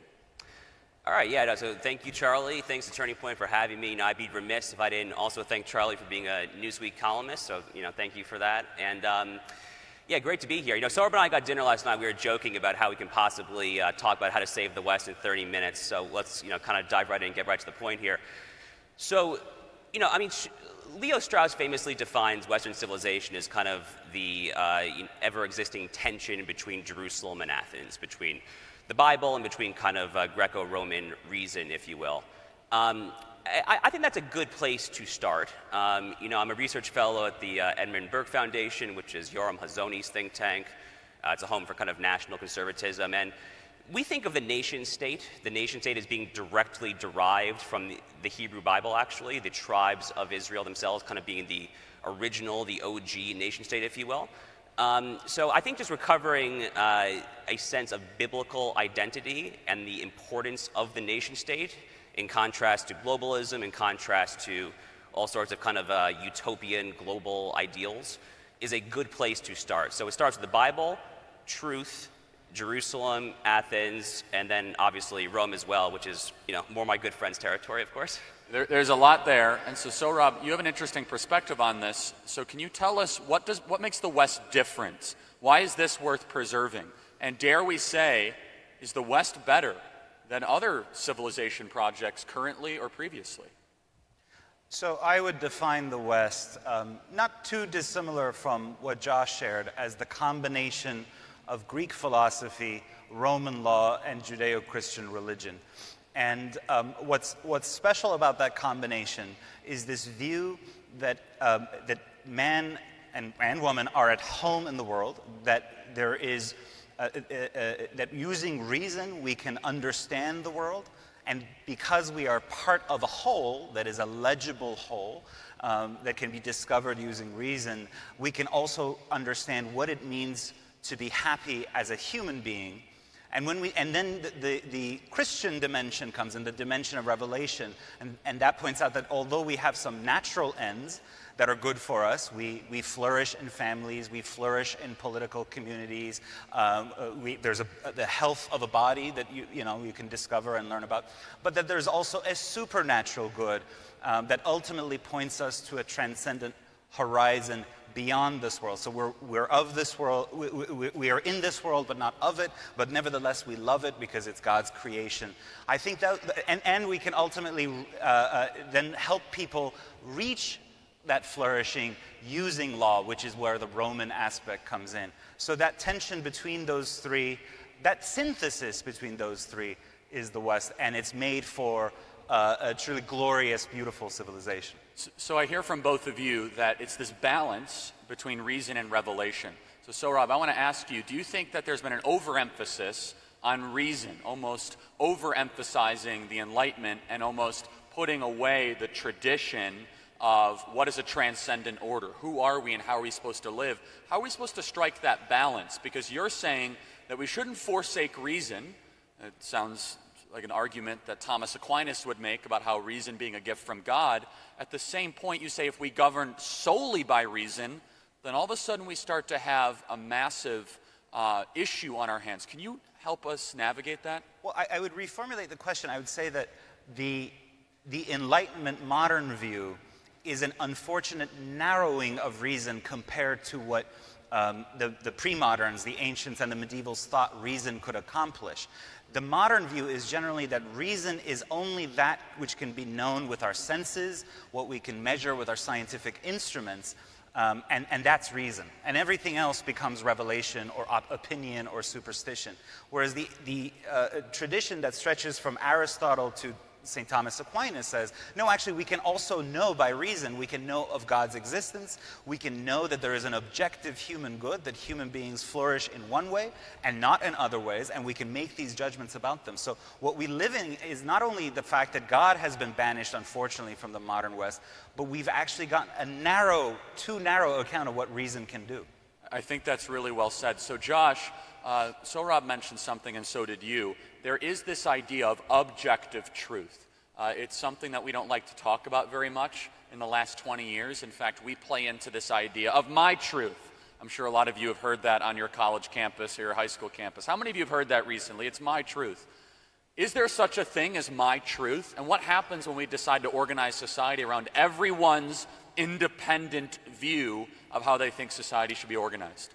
So, I mean, the short answer is that no, of course not. There's no such thing as quote unquote my truth. Um, so, you know, I would be remiss if, you know, as the Jew on a panel with uh, one evangelical, a Catholic, and a Jew, if I didn't talk about Judaism here a little bit. I think it's important. So today is actually uh, Tisha B'Av uh, on the Jewish calendar, um, which is actually the saddest day on the entire Jewish calendar. It's a fasting day. You won't see me eating today or anything.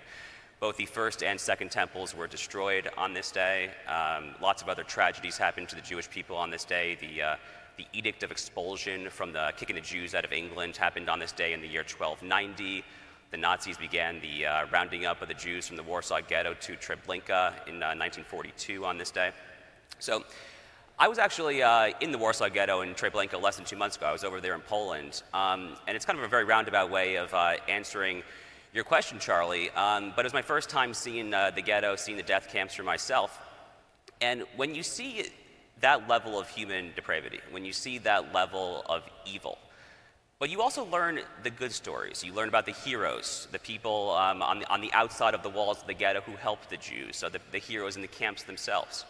You see that there's also such good, that human beings are capable of such good.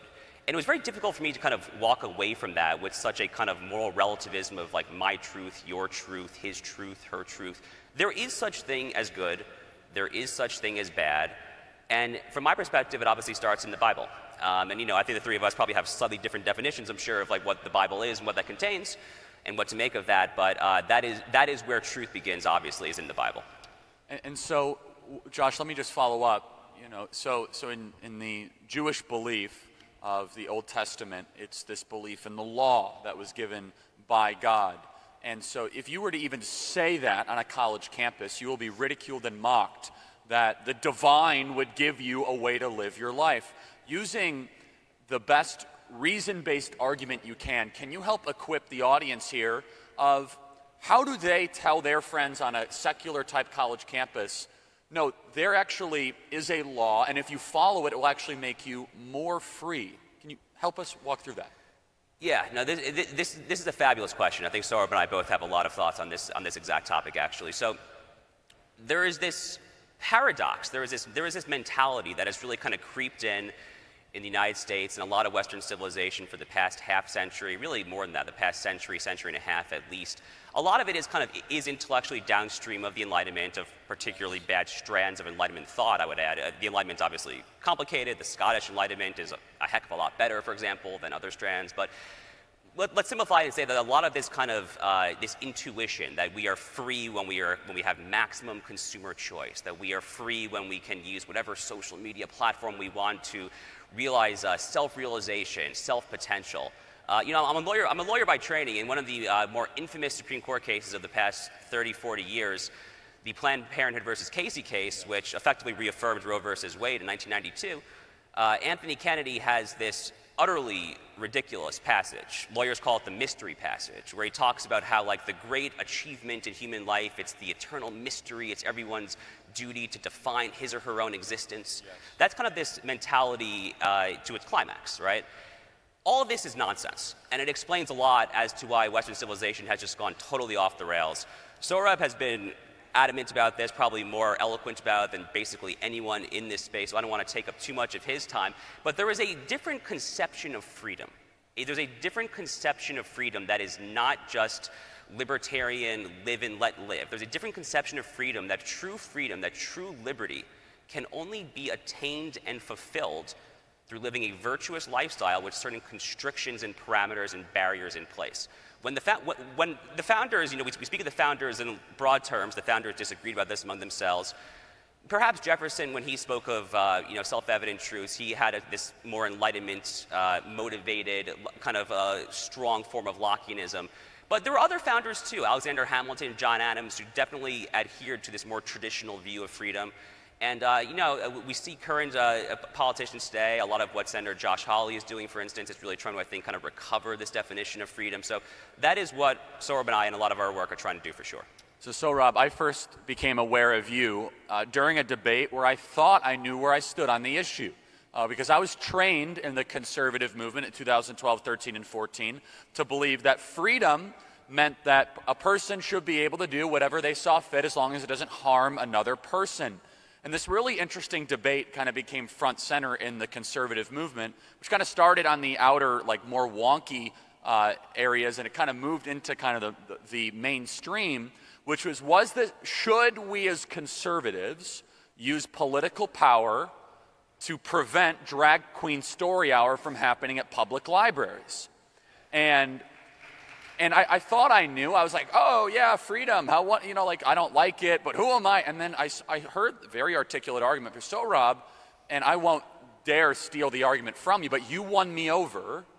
And I think with millions of others, where all of a sudden, if we are not protecting and conserving tradition, if we're not even protecting our children, then what good are we actually doing?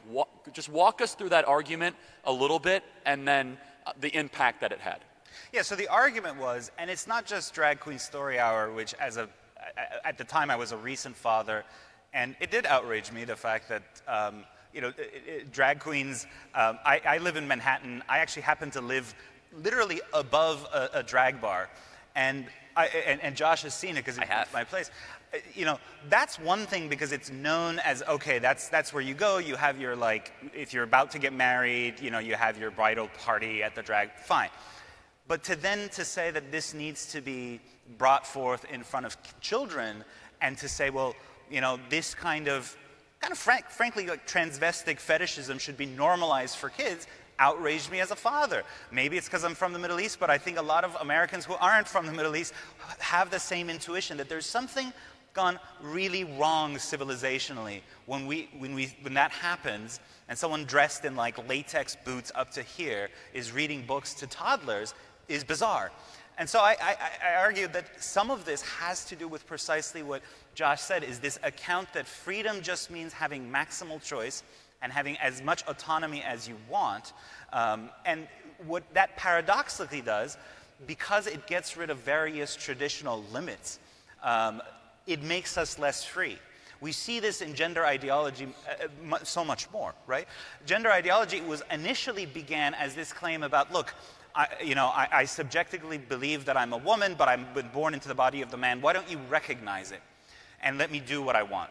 It doesn't stop there because my demand for full autonomy begins to become you have to recognize me as such. Therefore, you have to alter your language. Therefore, we have to create a new pronoun system. Therefore, you may be banned from social media if you use the wrong pronoun and so on and so forth. So I know she's speaking here when, when uh, Tomi Lahren said, well, why are people picking on, on, on uh, Caitlyn Jenner? Uh, of course, or the per person formerly known as Bruce Jenner, of course we have to object to any kind of bullying or viciousness to anyone because everyone is born in the image of God. But why is it important? It's important because reality itself is at stake. Those traditional constraints preserved our ability to have access to reality and not to be forced to say something that is not true, such as the idea that a man can ultimately become a woman. No, gender differences are fundamental. You don't need to go to Genesis to know this, it's in genetics. And so, can I follow up on this? And I, I totally agree. And you know, we're, we're an educational organization, not commenting on politics. I said this on television that a man who thinks that he's a woman has no place running in the Republican Party in any position whatsoever. And so, and so I, I, I want you to kind of help our audience here, though, because if they said what you and I just said, you, you know, you, you run like the oldest newspaper in the country, you know, I run Turning Point. In some ways, I'm not going to have to get some sort of crazy activist coming up to me in some, you know, North African lesbian poetry class at their school, right? So how are they supposed to defend their peers who will call them transphobic, who will call them hateful and bigoted, that traditional gender roles, not just, let's forget traditional gender roles. How about like just a man is a man and a woman is a woman? Help equip our audience to be able to be prepared for that. Yeah, I mean, the, the language to use is the language of, uh, of equal in dignity, but also different. Men and women have, have equal dignity, but they are different. And when you attempt to cross that boundary, it ends up in far worse coercion than what we had before. Again, it's the coercion that you face on campus. But I will say this you and I uh, and Josh can withstand cancel pressure, right? When, when I work at the New York Post, when uh, the uh, uh, uh, Hunter Biden story, which we did, I was not involved because I, run, I helped run the opinion pages. When we did that, uh, as you remember, Facebook banned our, reduced circulation our story, Twitter banned our account. You couldn't even use direct private messages to share our story, which remains to this day to be true. Hunter Biden has not said those were not emails, that was not my laptop. He could have done that 24 hours, two hours after the story dropped. They didn't. It was a true story that was censored. But look, we can fight back. I can go on Fox, my colleagues can go on Fox, we can make our case. And ultimately, we prevailed as much as you can. At least we, we got our account back, and now you can share that story. But the ordinary person can't, which is why those of you who are concerned about tradition, as much as you have to show personal courage on campus or in your workplaces, we also have to seek political solutions because you're, you're, individually, we are too alone. We have to, the, the, the pressure of big tech um, is a matter of fundamental danger to, to what matters, political speech, right? Section 230 of the Communications Decency Act in, in 1996 was enacted in order to uh, uh, uh, keep prurient content out of these bulletin boards like Facebook, like Twitter, which would come a few years later um, but not to suppress political speech.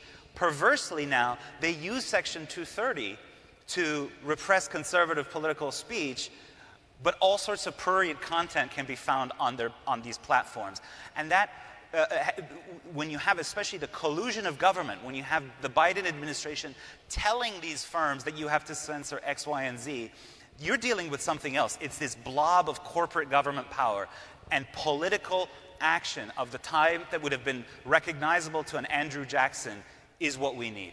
So, Josh, I want to kind of get into this because we have been told as conservatives the only way to save the West is through cultural transformation and uh, being able to make better arguments. I agree with all of that. And as an evangelical, I think that we need to realize we're in a spiritual battle, not just in a material battle. And I think that, you know, in a, the, the specific, you know, uh, religious view that I have, that just you know, talking about things that we can see is a mistake. However, so, so often conservatives say, well, I agree that drag queen story hour is wrong. I agree that, you know, I don't want to see men go into a restroom that's a woman's restroom, but who am I to legislate morality? Who am I to use political power? Josh, is it time to start using political power? Uh, the time for that has long since passed, I think, is, is, is, the short answer. Look, anyone who is answering no to that question does not understand what time it is in America. Um, if you are looking at what is happening out there, we are obviously over 100 years into the Woodrow Wilson kind of, kind of progressive transformation, but this, this transformation happened quite a bit before then. But, you know, you can go back again to the writings of the American founders, a very kind of intellectually and politically diverse group but they spoke all the time about the duty, the obligation of legislators, of lawmakers to pursue a politics oriented towards human flourishing, justice, and the common good of the whole. The preamble of the United States Constitution enumerates seven substantive ends for governance.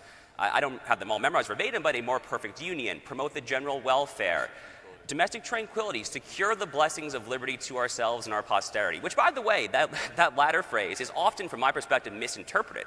A lot of people, you know, this became kind of like a running joke, like, you know, hashtag blessings of liberty in this drag queen story hour context. It's kind of like a Twitter meme at this point. But that's totally, totally wrong. If you actually look at what the, the, the phrase secure the blessings of liberty is saying, it's the blessings that they're trying to secure. The liberty is an instrumental means to achieve those substantive blessings, which of course are downstream of biblical principles. But more generally speaking here, look, you know, the, the late Andrew Breitbart, you know, may his, may his memory be a blessing, you know, famously said over and over and over again that politics is, uh, is downstream of culture. I guess my reaction to that is always it's, it's a two-way arrow. The two like very clearly do relate to one another. Um, I think legislators, I think political statesmen uh, even judicial statesmen, frankly, that our best judges, you know, Chief Justice John Marshall in the early 19th century, the greatest even justices have understood this, that there is a powerful role for the state to also use the levers, whether it's the political levers or the judicial opinion levers, to influence culture as well. And uh, look, we have to know what time it is in America. I realize I've said that already, but like that, you guys are the future. I mean, you have to look out there and see what the left has done. And, and I guess here's kind of the other thing I'll say about this. Look, Sohrab was already talked about this a little bit. You know, Ronald Reagan famously said that the most terrifying words in the English language were, I'm from the government and I'm here to help. That probably was true at, at the time he said that. I don't think that's true anymore. I think the most terrifying words in the English language in the year 2021 are, I'm from the ruling class and I'm here to subjugate you. That is what we see with this new Biden administration, uh, you know, countering domestic extremism document. That is what we see with this grotesque partnering with the federal government and big tech. Most recently, this you know, Facebook COVID uh, misinformation stuff. We have to get in there. It is way past time for us to get comfortable using the levers of power to get in there and try to steer this ship back in a direction that is healthy, sustainable, again, towards those overarching substantive ends justice, human flourishing, and the common good before it's too late. Just very quickly to, to, to Republican legislators that say, legislators, but also intellectuals of a kind of establishment, older generation who say, well, uh, my purpose in being in government is just to not use government power then why are you in government? I'm right. sorry, but in any civilization across all of human history, people go into government to use power. It's only this bizarre class of the, of the GOP establishment, I think, which relatively recently has convinced itself its role is to not use power. Of course, you have, and anyone who labors still under the idea that, you know what, the public square can be neutral. So and so can believe that there are 157 genders. I think there is only two sexes, but we can go. Doesn't work that way. Uh, and that's an obvious example. There are many others of this kind where we see that one way or another, some orthodoxy or other will be enshrined in the public square. So it might as well be a, a, true orthodoxy, one that says that God is logos itself, reason itself, one that says that uh, uh, man and, and woman are made in the image of God and therefore they have an inherent dignity. That's the orthodoxy that the West has, broadly speaking, enshrined and should be enshrined again. Well, and the, and the great irony of it is that each side did the opposite of what the other side was afraid of. And so, for example, it's now the left that is mandating vaccines and trying to control your body, which is what we're always accused of when it comes to the life argument. And we're the ones that are totally indifferent when you want to do something that is probably, you know, not good for society, which is always what we accuse the other side of doing, of kind of just being indifferent. It's this kind of, it's all the kind of accusations have now been kind of absorbed as kind of behavioral, you know, uh, traits in each side, which has been a really bizarre thing to see. So, Rob, I want to ask you this as a follow up, though. Uh, someone like David French would say, who you know very well from your debates, you're nothing more than a central planner. You want to use political power because you don't trust people to have their own ability to self govern. There's two statist movements, and they, one calls themselves conservatives, one calls themselves liberals. Is that true? Are we just central planners now? Is the era of big government here? I'm going to appeal to authority. I'm going to appeal to authority because someone like David French or other of, of my and Josh's um, kind of uh, interlocutors or uh, our critics in the conservative movements make this point. They say that we just, what we want to do is exhort people to virtue and just evangelize the culture, and that will do its job. And I totally believe in evangelizing the culture. Of course, it's the Great Commission. In the Bible, our Lord says, Go baptize nations in my name. That's fine. But the ancients never thought that mere evangelization or mere exhortation was enough. It had to have the force of law because most people, because of their fallen nature, need the guidance of law. The law is a teacher. St. Thomas says exhortations to virtue are good, but they're not enough. You also need some coercive dimension. And if you say, well, coercion is bad, go, well, guess what? You coerced one way or another. If you're afraid of, of government coercion, as Josh said, how much more should be afraid of a, of a coercion of, of a few Silicon Valley dweebs in Birkenstocks who wield enormous power to make unperson you, disappear you from the internet, and therefore so much of your identity is erased. And you don't have a Supreme Court to go to, you don't have a, a, a legislator to go to, it's a private company. So coercion is inevitable. Again, the only question is what are you coercing for? What means are you using? Are you using them for reasonable ends or unreasonable ends? But the idea that you can have a society without coercion is fantasy. So, Josh, what does this look like? So, you say it's time to use political power. It's time for us to use the, the institutions and the instruments that were given to us.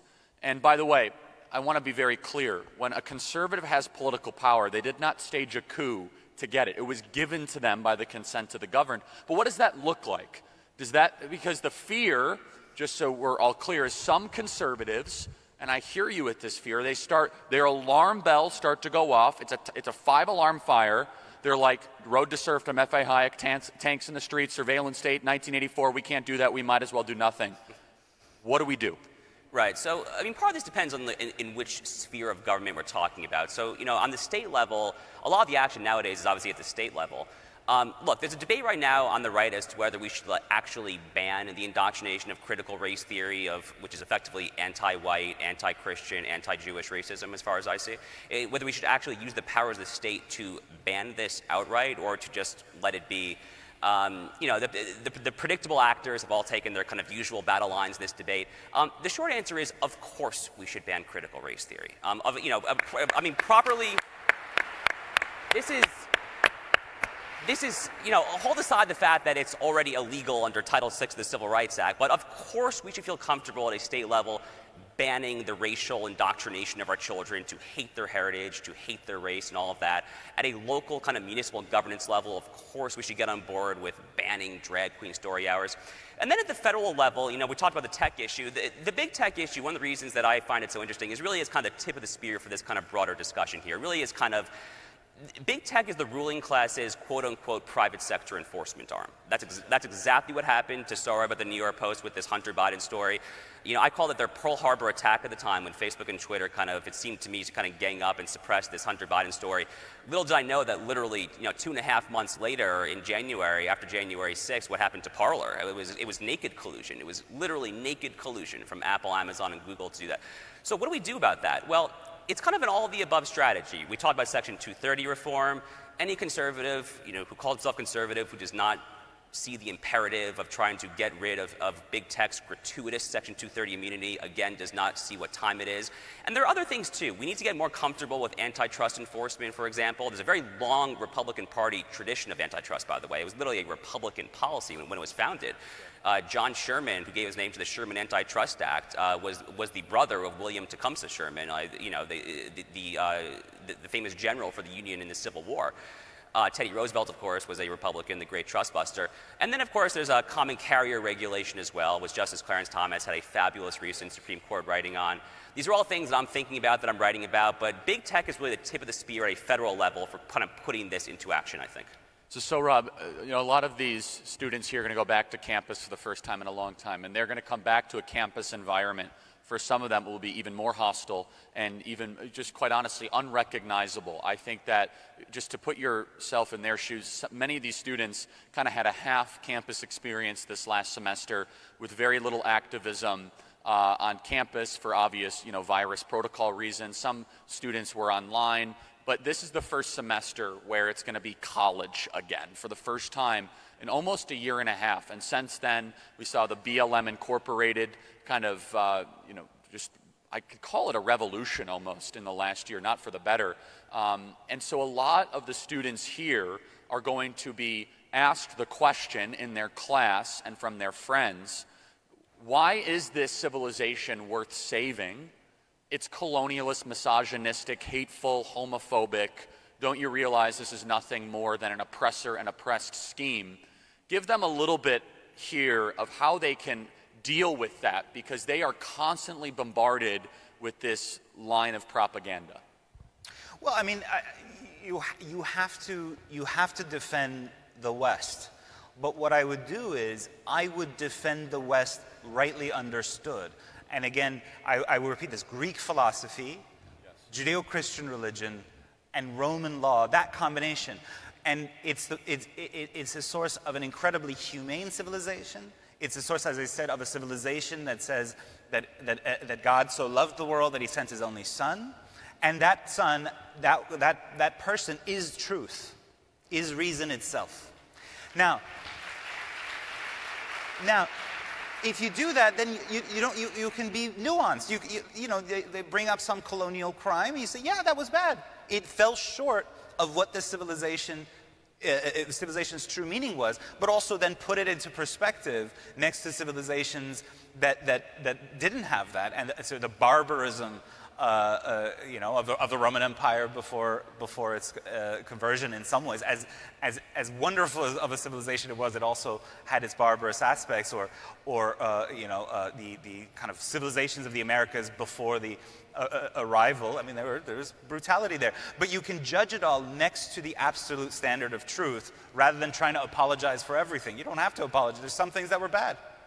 So, so Josh, in closing here, um, there's, there's this narrative that continues, which is that freedom is being able to do whatever you wish. We touched on this earlier. If you go to the Harvard Law School in one of their cor- you know, stairwell corridors, they have this big saying that says the law is the wise restraints that keep men free. So I want everyone to think about this that it's the restraints that you put on yourself that keep you free.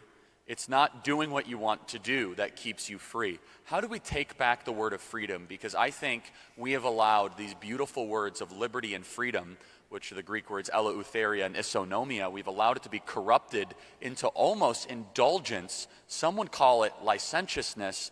How do we take that back? And then it's hard for an 18 and 19 year old because yeah. there's kind of this I'm bulletproof and I walk on water mentality. How do, how do we win that argument?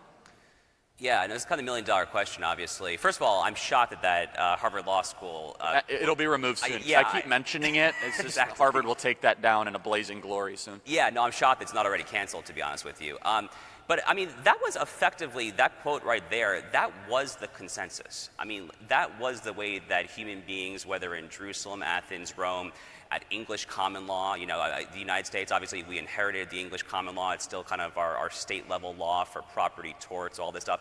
The English common law was emphatically based on the quotation that Charlie just said there that without restraints, without kind of an inherent orientation towards societal, national interest, common good oriented virtue, that the law itself um, was not true law, that it was not substantive law. Yes. Um, so, how do we actually kind of go ahead and take that back? Well, you know, I, I don't have all the answers, but I can just give a couple of ideas here. I mean, like, like, I said, you know, there are, I think, some legislators, there are some politicians who I think get this. The fact that, that, that in kind of a hands-off approach to big tech is increasingly anathema in the Republican Party is great. It's a great place to start, I think. But it ultimately, and so I've kind of hinted at this earlier, it has to go beyond that. The threat of woke capital, the threat of corporate power in general in America, is very real. And I think there was a time, you know, where it probably made sense for the American right, for the GOP establishment, for the Chamber of Commerce, et cetera, to kind of get in bed and cozy up one another because, you know, the corporations would promise more choice, more consumer choice, you know, lower prices, right? All this kind of like neoliberal uh, fantasies that we were sold. Uh, and, and what was the result of that? what was the result of kind of this maximal bipartisan neoliberalism? An unprecedented opioid crisis, ripping apart the industrial heartland, jobs shipped like you've never seen to China, to say nothing, of course, of, of Mexico and countries in our own hemisphere. So we have to kind of just talk about and just get there in the public discourse through conversations just like this. At the, at the federal government level, level uh, senators like Josh Hawley are kind of already saying things along these lines. That freedom is only, is only true freedom insofar as we are looking out for the common good of the whole, insofar as we are expressly legislating and enacting policies oriented towards that. So Tom Cotton's another example, and I'll, I'll, just end on this note. He has a recent kind of policy proposal. I don't remember the exact details, but he basically would just uh, would tax Harvard, Princeton, Yale, et cetera, their endowments, and then directly take that money to provide better access to kind of technical training, community college. These are exactly the sort of policies that we should be looking at. Whether they call us statists, authoritarians, leftist, central planners, who cares? That's what we have to do. That is a time in America, and we can only just encourage you with conversations like this. So here's how I want to close. I know that we're going a little over time. First, if you want to hear this conversation and the extended backstage conversation, uh, if you guys can hear it on the Charlie Kirk Show podcast. Thank you for subscribing to it. And if you guys aren't yet subscribed, if everyone in this room subscribed, uh, we would beat Rachel Maddow in the New York Times in the podcast charts. So that would mean if you take out your phone and subscribe, it would mean a lot. And we're going to have some backstage conversations that we're looking forward to diving deeper. Here's how I want to end this conversation. So, Rob, talk about what your faith has meant for you. Talk about your faith journey. I know we have like 30 to 45 seconds, um, and just because some people out here might be drifting away from their faith, they might have been raised Catholic, they might have went to a Catholic school, and they're like, ah, I don't want to get involved in that. Talk about your own personal story. Sure. I mean, I, I converted uh, in, 2000, in December 2016. Um, and I mean, I was, thank you. I, I, I don't, I, you know, the church needs the claps, not me. Um, but what, what it's meant to me is, you know, frankly, I mean, I, look, I was living my 20s, I was working as a, as a journalist in, in New York and London, but um, had this sense that there's more to life, and that sense found its its fulfillment um, ultimately at the altar. And since this is a panel about tradition, tradition, the best definition I've encountered, it's the shortest, is tradition is ordered continuity. That is, you have this sense that there are steps leading behind you, therefore steps leading in front of you. And to live within the bounds of tradition, you actually get a lot of confidence, right? If I, if, if, that I know what I am, I'm a man, and I will find my true fulfillment in family life, in having children, and, and that allows me to actually be free to leap forward. And I can uh, uh, kind of eliminate a lot of distractions that I actually don't need once you do that, rather than being like looking inside yourself, hmm, who am I? What do I really believe? There, there, there, are certain truths, really fundamental truths, that have been handed down. That's tradition. Traditio is to hand down. And you know, so you don't have to explore your insides for wisdom. You probably won't find it there. Um, uh, uh, when you have this, you don't need to reinvent the wheel. That's the beauty of, of all tradition. And speaking of things that are traditional, uh, basically the world's first religion, tell us about your, your, your faith and what it's meant for you, Josh. Sure. So, you know, I, I, I, mentioned Edmund Burke in passing earlier. I, Edmund Burke was not Jewish, to be, to be clear, but um, he did famously speak of um, this notion of a partnership among the generations, dead, dead, living, and, and, uh, and unborn. Um, that is how I think about politics, and that's how I think about religion in general. Um, I, I, take an immense amount of pride and joy, frankly, in the fact that as a Jew, I can directly trace my lineage to Revelation at Sinai. It's, it's an incredibly powerful thing for me. Um, and, uh, you know, look, I, I, grew up in, personally in a fairly kind of secular home. I, mean, I grew up in a, in, a, in a, Jewish home that would really only go for kind of the high holidays, Yom Kippur, Rosh Hashanah. As I've, as I've gotten older, you know, now when I travel for conferences like this, when I go speaking and stuff, I always travel with, uh, with my siddur, with my prayer book, with my tefillin, which is what Jews always, uh, every day, they, they wrap themselves with. It's part of the, the uh, liturgical morning prayer, the Shacharit service. And what I've learned, and it's kind of similar really to what Sohrab said, is that you are not prepared, especially in this line of business, Charlie. In this line of business, you are like not prepared. We are not prepared to go out there and do kind of intellectual fisticuffs, to kind of engage in the, in, in the public square, to, to uh, duke it out in the battle of ideas, if you don't have something to point to. You need something in there to guide you, to sustain you, to look at every single day. Um, you know, as I've become more observant over the past few years, as, you know, as, I've, as, as I've come to kind of pray every day, I find that. Um, and you know, I, I only hope that all of you can find that as well. It's wonderful. Uh, I want to keep talking to these two, and you guys can hear that exclusive stuff if you check out the podcast. For me personally, I gave my life to Christ in fifth grade. Uh, it's meant more every single year as I've gotten older, and it's been the most amazing thing. And I totally agree, Josh. If, in this space, if you don't have something anchoring you, uh, and that means a personal relationship with Christ, and realizing that I am not enough, that salvation is not going to be earned in checking a bunch of boxes, um, but instead being obedient and accepting Christ into my life and making him the chairman of the board of all of my decisions and everything that I do. And uh, so I just want to say that this kind of conversation uh, is really unique and we need more of it. And I don't think we disagreed on basically anything. um, but for all of you guys out here, the big takeaways are respect tradition um, to know that road ahead, ask those coming back. And Lord Falkland famously said that if it's not necessary to change things, it's necessary not to change them. And I think all of you can be articulate and compassionate, yet firm and courageous spokespeople for this beautiful gift that we have been given, which is Western civilization. Quite honestly, the greatest experiment in self government in human history. And that's really what we're fighting here for at Turning Point USA to save the West. God bless you guys. Thank you so much.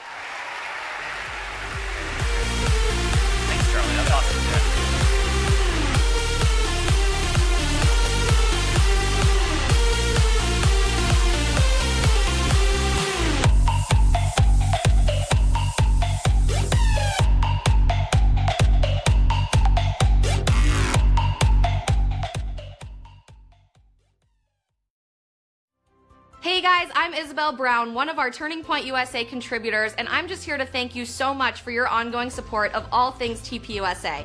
I got my start on my college campus starting a chapter, so I know firsthand just how important the work that we do on the ground of America's college campuses is every single day. Now, doing what I do as a contributor, I get to reach hundreds of thousands of people every day, including with my new shows in the TPUSA Productions Department. Your ongoing support means that we can start new shows and new chapters all over the country. You can make a donation to Turning Point USA at tpusa.com/donate. Good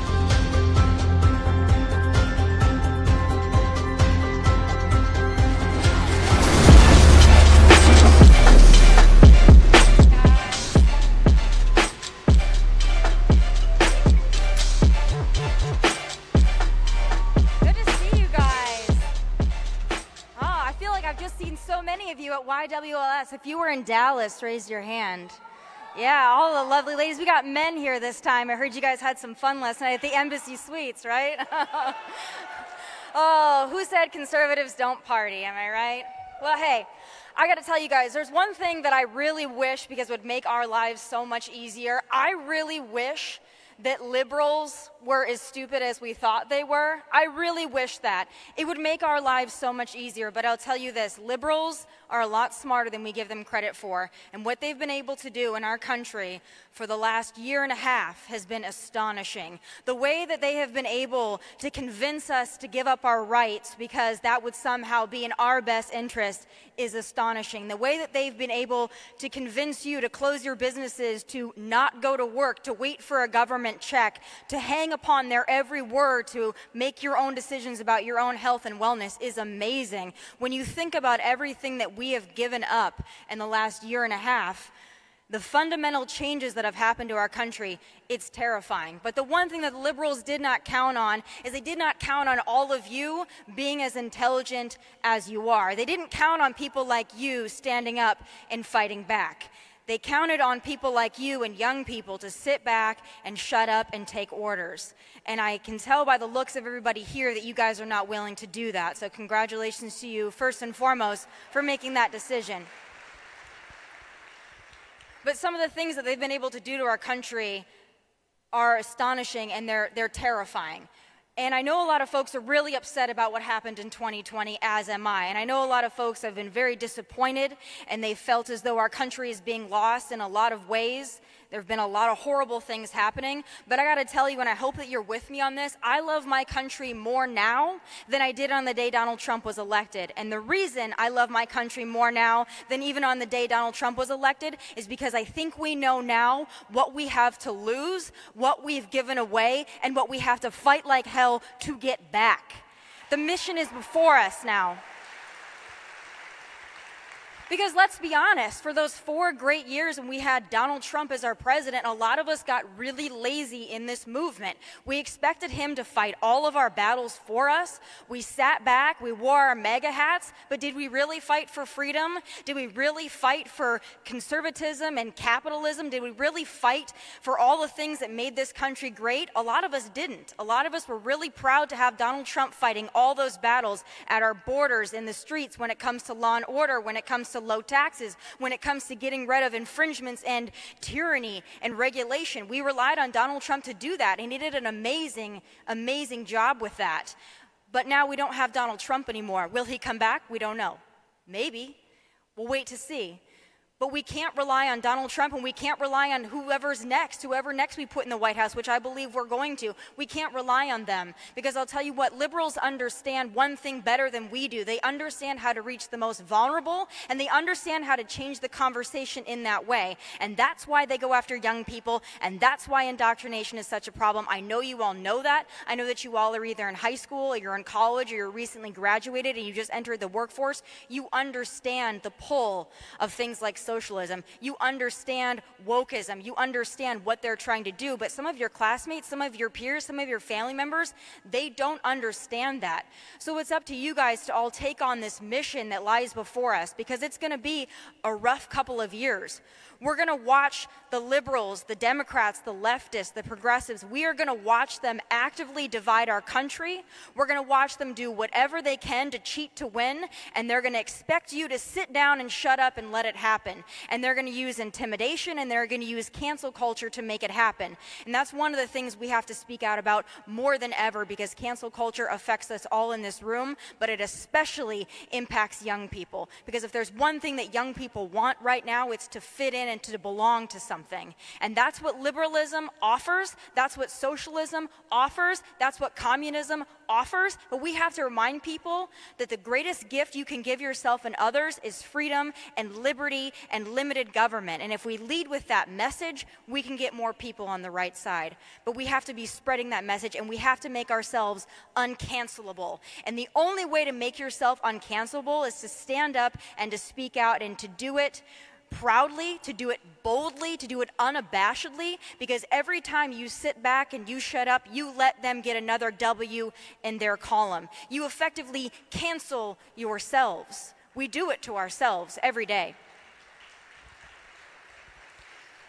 There are forces in this country that are teaching, especially young people, how to hate the country that they live in. Now, keep in mind the people that are teaching you to hate the country that you live in are also living in this country and taking advantage of this country. And BLM, a terrorist organization, is a prime example of that. They're making millions and millions of dollars off of their hatred of this country in which they live and in which they're profiting off of. If you watch the BLM movement and what they've been able to do, especially in the last few years, it's amazing because they have coordination and they have people that are unwilling to speak out and say, hey, this organization was supposed to be this and now it's that, because they've canceled all the dissenting voices.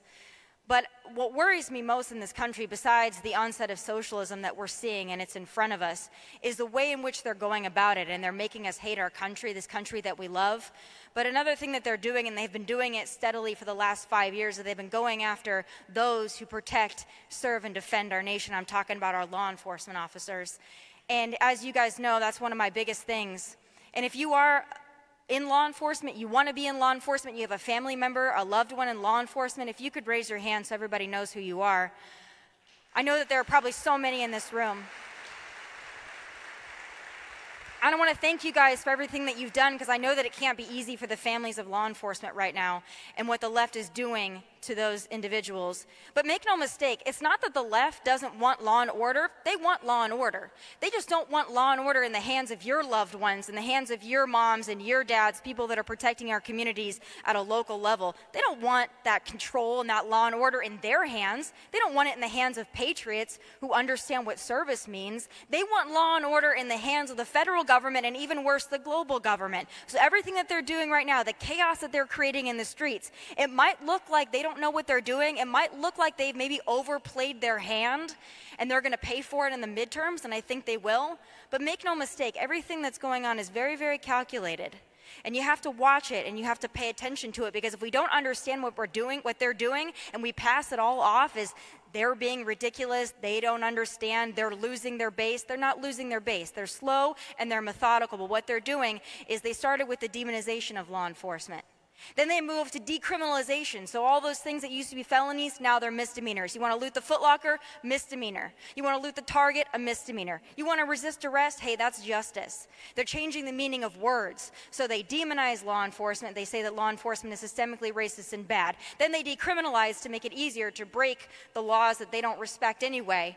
And then they move to defunding. So now they want to cut off the resources. And they do all of this to create mass chaos because when you have mass chaos in the streets, when you have what appears to be lawlessness, that's when the government thrives most. So watch it happen in our streets and pay attention. And when people see it happening and they're looking at what's happening, you remind them that this is all part of their plan. And it's not just lawlessness in our streets in our community, it's also lawlessness at our southern border. We're set to welcome already almost a million people into this country. It is July. It is July. They estimated this year we might welcome a million illegal immigrants. It's July. We've almost already welcomed a million illegal immigrants in this country. We're a country that loves immigrants, don't get me wrong, but we're a country that also values law and order, and we value doing things the right way. But this is another plan of the left. The left knows that they really can't win on their messaging. They know that they really can't win on high taxes, high gas prices, high lumber prices, inflation. Those things are really hard to sell to the American people. So, what are they going to do? They're going to do everything they can to change the rules. They're going to do everything they can through this Voting Rights Act because they want to bring as many illegal immigrants into this country as possible. And mark my words, pretty soon it's amnesty, pretty soon it's voting rights. And then all of us sitting in this room, even if we want to get this country back, we're really going to have a hell of a time doing it because once you bring millions of people into this country who are beholden to the Democratic Party, it makes it really, really difficult to get our footing back. That's why this moment is more important than ever, heading into midterms, heading into 2024. We need to make sure that we drain the swamp, which Donald Trump started to do, but we have to finish draining that swamp.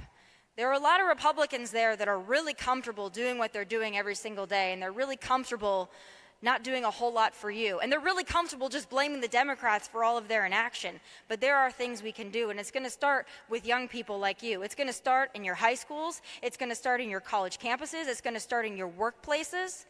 And the only way that we're going to be able to change this narrative and truly fight that good fight is if we start talking to liberals more.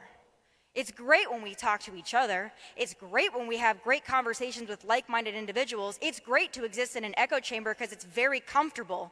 But the only way we're going to win the culture war and the only way we're going to take the country back is if we start talking to liberals and explaining to them that it's in their best interest to not only love the country that they live in, but believe in limited government. Another way we can do it, and I'm so happy to see it today, unmasked and at full capacity. But we really do have to start speaking about our rights and our freedoms that are being taken away. How many of you are from California? You live in California. You're in LA. Yeah, you guys got masks again. Are any of you surprised? Any of you surprised you have masks again? Of course not. Is it, back, is it backed up with science? Absolutely not. You know what it's backed up with? Democrats who love control.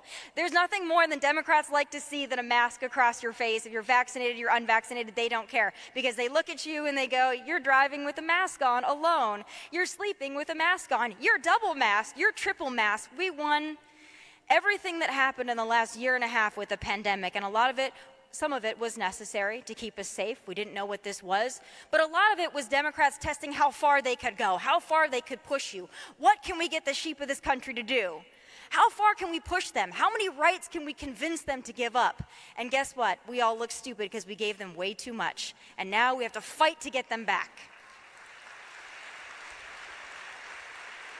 And there's another thing that I'll tell you, and it goes for the First Amendment, it goes for the Second Amendment, it goes for all of our rights, and it goes for everything that we gave up during the pandemic. Once you start giving your rights away, it is really difficult to get them back. So remember that next time you're willing to cede some of them to the government, because you're going to have to really fight to get them back. That's very important when, when it comes to the Second Amendment as well. Look at Cuba right now. Do you think the people in Cuba wish they had a Second Amendment? They absolutely do. They wish they had the freedoms that we have here, the freedoms that we're giving away every single day. They wish that they had them. That's why they carry that American flag. That's why they believe in the beacon that the United States of America is. Better than some of us even understand. You look at those people and you look at what they're fighting for, and for the first time, they looked at their regime and they looked at communism and they said, you know what? I'm not going to just try to get on a raft and come to the United States of America. I'm going to stay in my country and I'm going to fight for it. And boy, wouldn't it be nice if we got some of that spirit back? They want to get here. But make no mistake, the people in Cuba are also understanding what's happening in this country, and they're saying, wait, wait, wait a minute. All we wanted to do was get to the United States, and now we're looking at the United States, and they're doing the exact thing that we're fleeing from. And that is another part of the reason that they're standing up and saying, No more. You can only push us around so long. We can learn something from the Cuban people. We can stop, and we can listen, and we can understand how good we have it. This is still the greatest nation on the face of the earth, even though we have slow dementia Joe in office. We elected him, remember? If you wonder why Republicans and conservatives are so confused and so interested in getting to the bottom of voter fraud, it's because it's very hard for us to believe that the American people, 80 million people, voted to put somebody in office who can't form a complete sentence. It's astonishing to us. We got to look into it. We got to look into election integrity. And that's another thing, by the way, that they're trying to cancel, and they use January 6th to do it. And if you watch the mainstream media, they do it very well. Anytime somebody talks about voter fraud or election integrity, they want to label them an insurrectionist, like they're going to storm the Capitol. No, we're not going to do that, but for damn sure, we're going to look into what was going on with voting machines. For damn sure, we're going to look at what's going on with ballot harvesting and everything that they're trying to push upon us now. Because if they change the rules midstream, once again, it's going to be really difficult for us to get this country back. But I want you guys also, when you leave here, I want you to have a clear mission statement of what you want to do. But I also want you to leave with kindness in your heart and understand that though we have a lot of disagreements with our fellow Americans, we don't hate our fellow Americans. We don't hate liberals. We don't hate Democrats. We don't even hate Nancy Pelosi or Alexandria Ocasio Cortez or Kamala Harris. We don't hate any of them. We show them kindness because we want to teach them that freedom is worth fighting for. And somewhere along the way, they forgot that because of power, money, greed, and control. But we can remind people, you can remind people, you're with people every single day, you're with young people, and you have the ability to change the narrative and to change the conversation, but you have to do it with kindness, and you have to do it with a clear mission, and you have to do it with freedom in your heart. And you have to bust out of your echo chamber, and you have to talk to people who don't think like you do. But another thing that you have to do is you have to be unafraid of offending people who have no fear of offending you. Too often, conservatives sit back. Conservatives sit back and they say, I'm afraid to tell people that I voted for Donald Trump. I'm afraid to tell people that I'm a conservative because I don't know how they're going to take it. I don't know how it's going to affect my friends, my family, my grades, my job. It really is a risk assessment that you have to make for yourself, but I'll tell you this the liberals, they're not afraid of offending you. They will put their Black Lives Matter sign in their yard, in, their, in your face, right up against your nose, all day, every day, because they don't care if they offend you. But you're so afraid of offending them. Why? With the truth? With what you believe in? Why have you been taught that your beliefs and your values and your traditions are not worth fighting for, or that there's something that you can only talk to like minded people about? That's BS. And it's what's caused us to be in this situation where we're fighting to get our country back. I want to thank you guys so much for being here, for doing what you do, for speaking up and speaking out, for being proud of who you are. Always be proud of what you believe in. Always be proud of the movement that you represent, but represent it well. Represent it with love, with kindness, with freedom, with patriotism, and show people that this country is indeed the greatest nation on the face of the earth. It's worth fighting for, and it's worth taking back. You've seen what we've lost, you've seen what we have to lose, and you see the mission that lies in front of you. So go forth and do it and do it wholeheartedly, do it unabashedly, do it uncensored, unfiltered, and do it to every capacity that you possibly can because this is the fight of our lives. We have this opportunity right now. Don't sit back five years from now and say, Boy, I wish we would have done something sitting back in 2021. And do it without a mask on your face, by the way. Never let them put you back in those. Thank you guys so much. It was great to see you.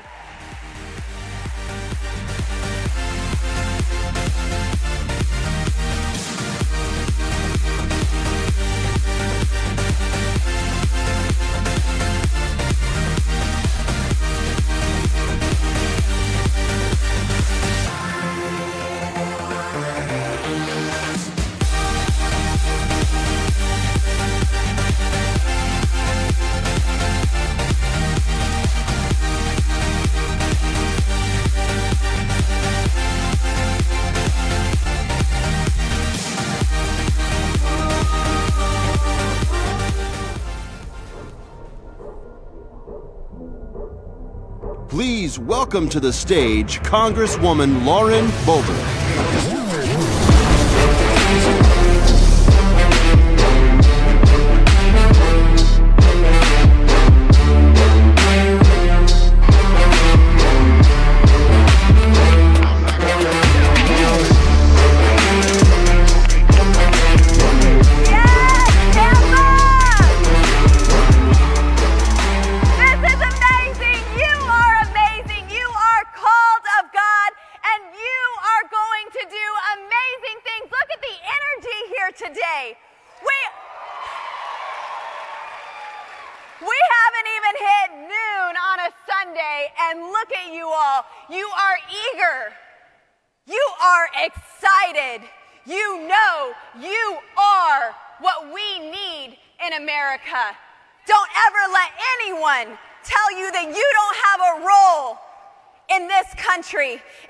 Future. You know, I was talking to some of you outside.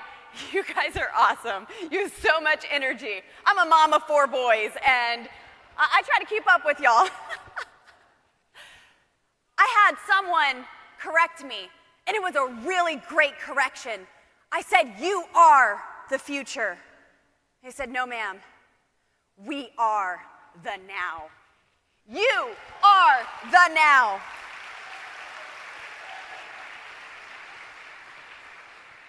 Now, there's a lot going on in our nation today. A million things have been running through my mind, but it is so great to be here with freedom loving, Fauci hating, gun toting, based, free thinkers like all of you.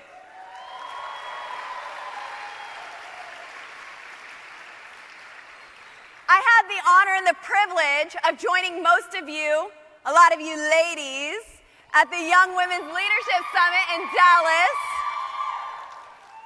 How amazing it is to have a group of conservative people who are allowed to have the freedom of thought, who are allowed to debate ideas, who are allowed to persevere and pursue their dreams.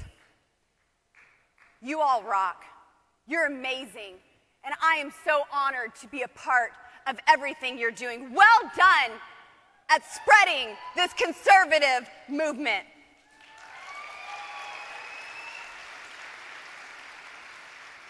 Now, there's a couple things that I want to charge you with today.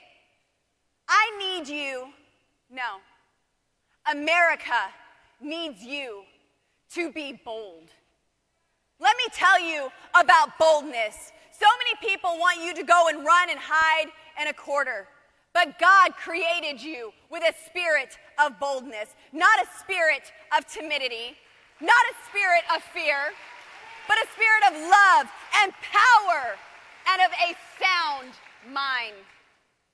That is how you are created. And boldness isn't just in politics, boldness starts right at home. I am a mom of four boys. And for me, that is the greatest honor that I have. When I was a stay at home mom, it was some of the sweetest times in my life. Don't ever let anyone diminish the role of being a mom. That is the most powerful thing that you can do.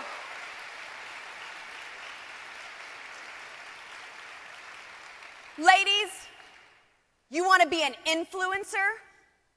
When you grow up and you have your family, influence your children. That is the best influence you can have. And men, be a good dad, be a strong husband, be a leader. We can all have tough skin. Men, you can be masculine, that's okay. I'm raising my boys to be men before liberals try to turn them into women.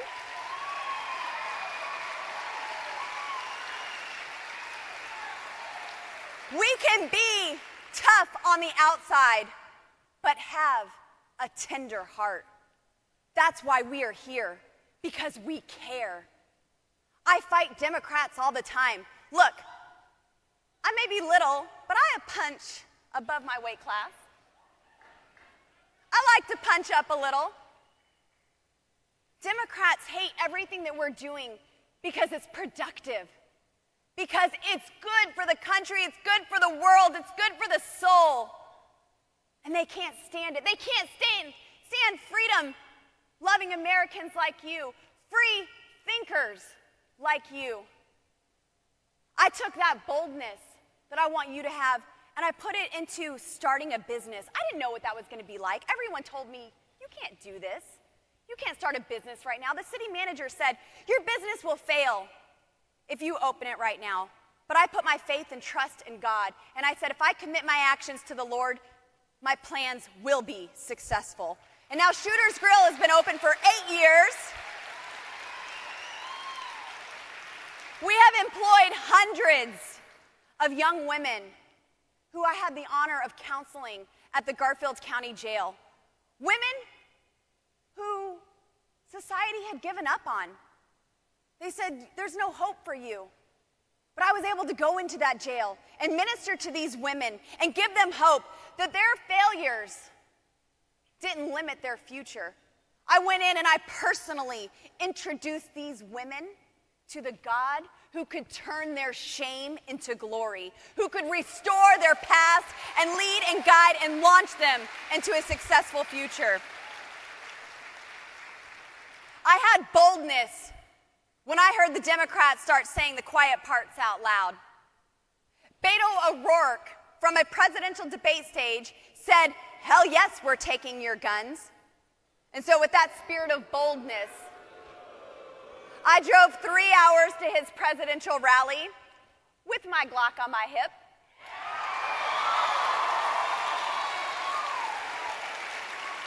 And I looked him in the eye and I told him, hell no, you're not. And if you don't believe me, just watch. White House hopeful Beto O'Rourke making gun confiscation his rally cry on the campaign trail, but one woman is not giving up her firearm so easily. I am here to say, hell no, you're not. I have four children. I'm five foot zero, 100 pounds. Cannot really defend myself with a fist. I want to know how you're going to legislate that because a criminal, by defense, breaks the law. So all you're going to do is restrict law abiding citizens like myself.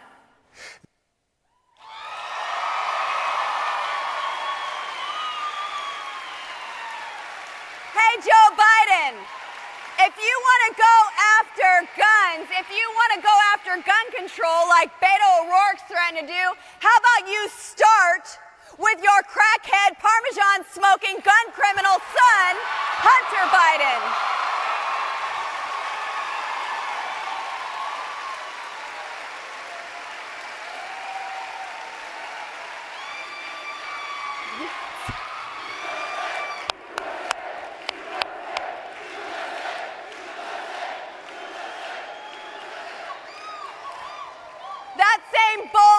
led to this journey to run for Congress because it was selfish of me to sit at home and do nothing.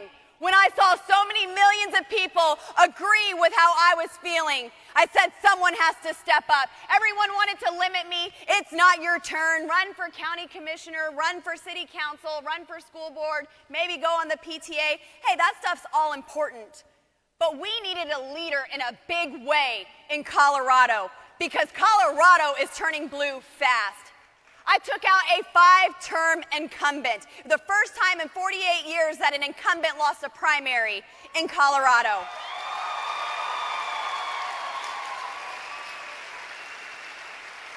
We were not supposed to win. I am not supposed to be here, but I had thousands of supporters. Not thousands of dollars, really, but all of the support that we needed to send us over. And this has never been about me. This is about liberty. This is about freedom. The American dream. This is about you. And that's why this movement is not slowing down. And that right there is where boldness becomes perseverance. I need you all to persevere in everything that you do. Every day that I am in Congress, I persevere, knowing the end goal, seeing the end from the beginning, knowing that we have the victory, knowing that God said in Exodus 14 that He will fight for you, He will hold your peace.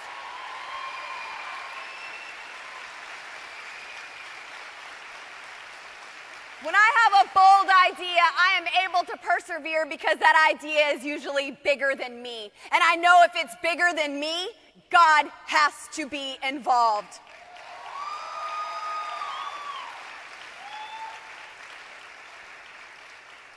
It's interesting, right after God said that to Moses, he said, Why are you crying out to me? Tell the people, go forward what is in your hand. And he lifted up that staff. So I'm telling you all now be bold, persevere, and go forward with what is in your hand right now.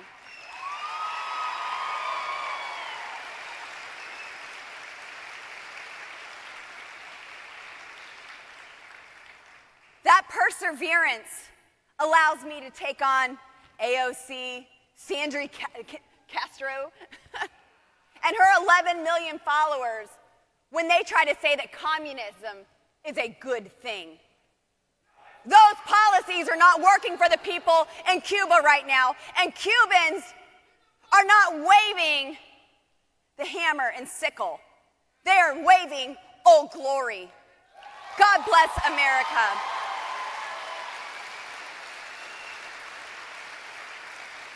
Cubans know that that is the symbol for liberty and justice for all. From Cuba to Hong Kong, they want freedom. And they know that government crumbs are never enough to satisfy the human desire for liberty.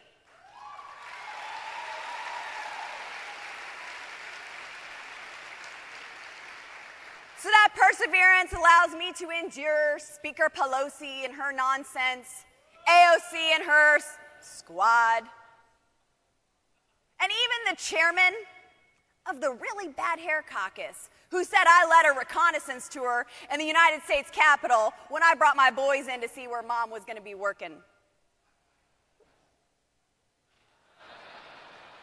Chairman of the bad hair caucus, right there, guys, eating chicken. I, I think it's actually crow, is what he's eating. But you all have that same fight in you. And the American dream is what we need to keep alive. Cubans are crying out for our freedom right now. All over the world, people want the freedom that you have. It is because of the American dream that I am here today. I was raised in a Democrat household because my mom believed the lies she was told by corrupt politicians. Greedy, politicians who only wanted power. Democrats don't want independence, they have declared dependency. And that's what they did with our family. Growing up, I stood in line for bread, for government cheese, and that is not America's best. At 11 years old, I knew that there was something better. And when I got my first job at the Rifle McDonald's and I put my hand to something and created wealth, I learned at a young age that I could do a better job taking care of myself than government ever could.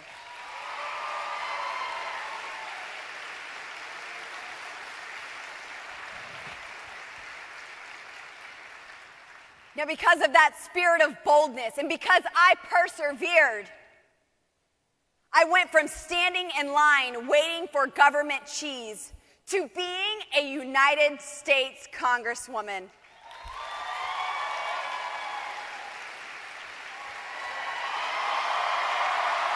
Y'all like him? He's pretty cool, huh?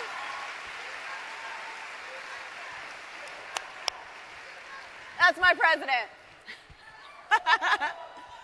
this American dream is alive for all of you. I want to leave you with this. Our founding fathers had such faith, had such faith in God and such faith in each other and such faith to have a nation that glorified God and embodied freedom, that they declared their independence. And then they celebrated that independence before they were free. And after they celebrated, knowing there was no turning back, they went and started the battle.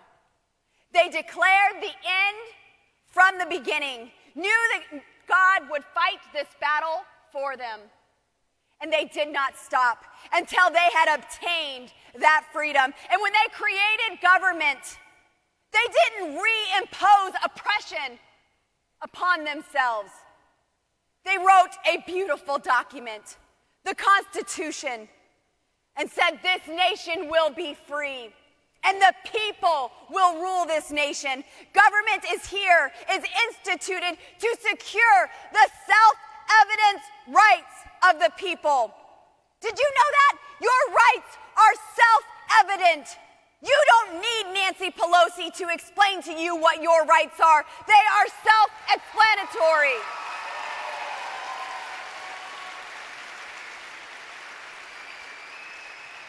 Now, normally I tell government, we don't want your welfare, we don't want your handouts, we are rugged individuals who can take care of ourselves. We want you to leave us the hell alone. But today I'm going to tell you I want you in government space. I want you running for school board. I want you running for council. I want you running for student body president. I want you involved all over this nation. Let them know that this movement is not going anywhere. We are rising up. We are unified and we will win. We are taking our country back. God bless America.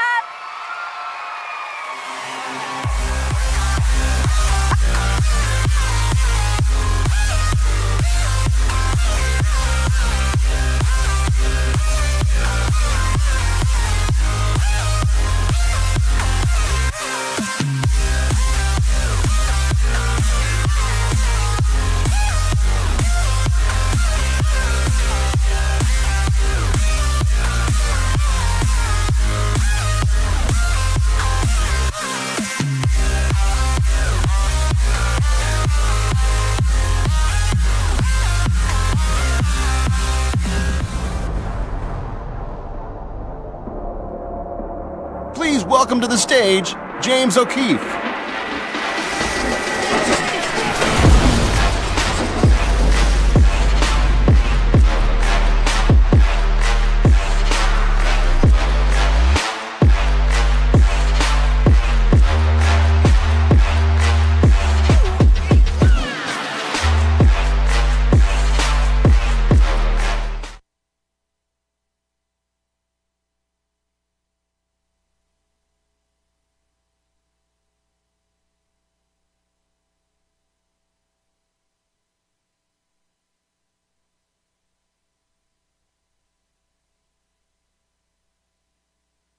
No, no one ever says those things out loud, but it's obvious. It's the thing that keeps you tuned in. If it bleeds, it leads. If it bleeds, it leads. So I think that's propaganda. Twitter permanently suspended his account after he exposed hypocrisy and fraud at CNN. But Project Veritas, a very controversial conservative group, promoting misinformation.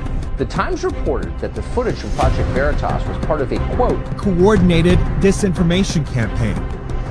They sued the New York Times for defamation. Project Veritas just won a major victory in that case. When they come to you and offer you $100 million, you're not going to settle? I, I, I, so tell them to go to hell. Go to hell. Go to hell.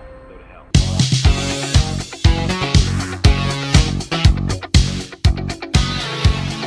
Alicaki.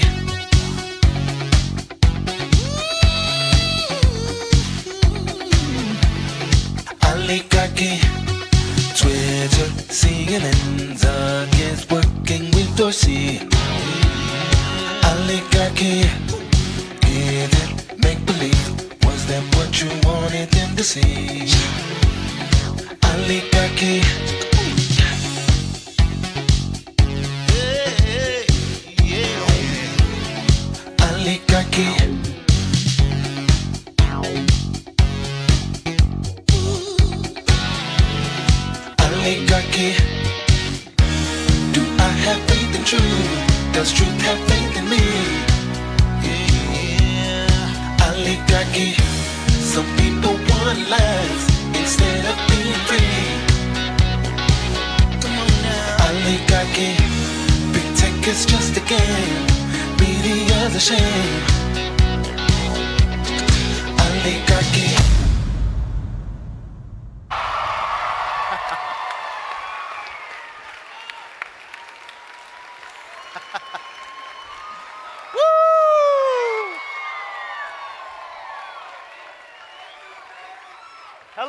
Turning Point.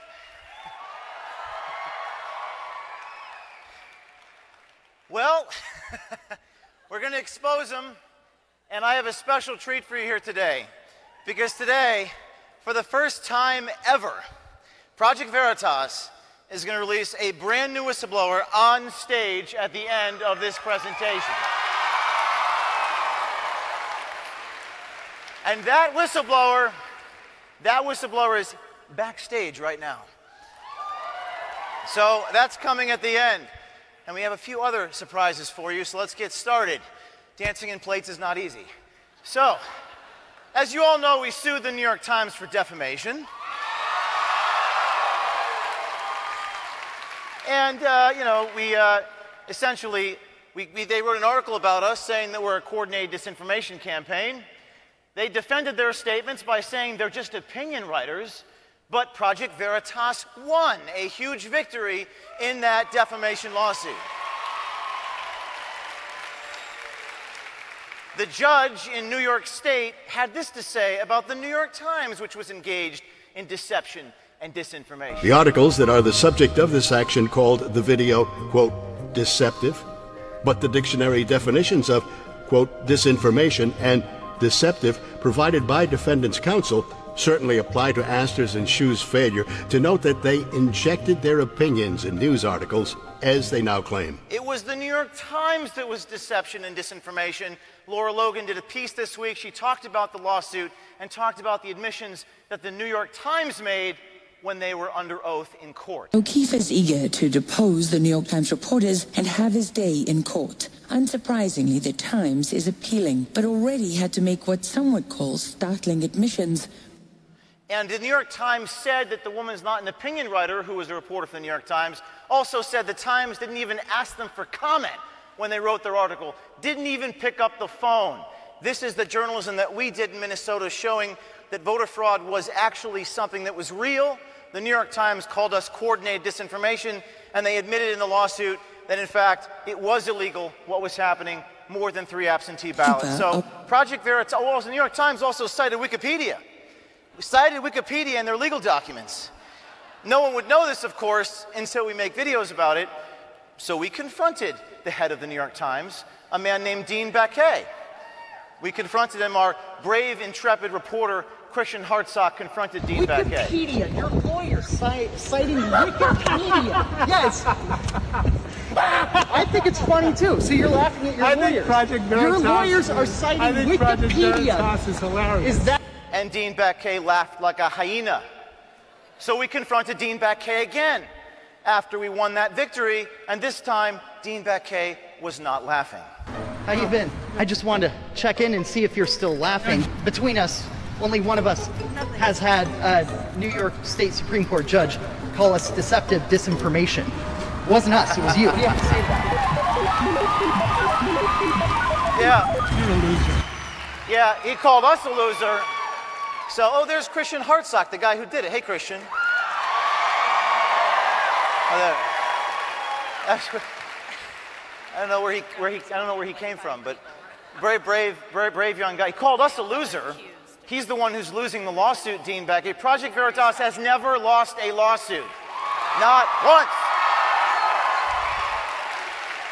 And we don't lose. We don't lose because we tell the truth. Because we have nothing to hide. Unlike them, they have everything to hide. Every time they get deposed, it's embarrassing to them, like this woman, this moment. You may wonder, what is this deposition thing that Veritas keeps talking about? This is what I'm talking about. This is what we're going to do with the New York Times and CNN and Twitter.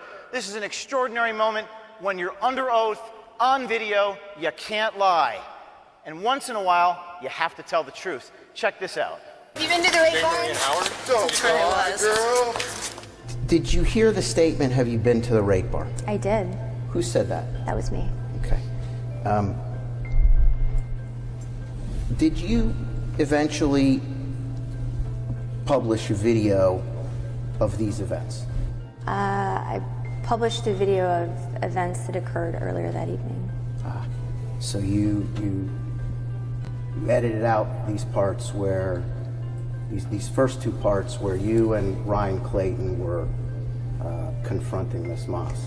You didn't. I object to your characterization of my actions. Okay.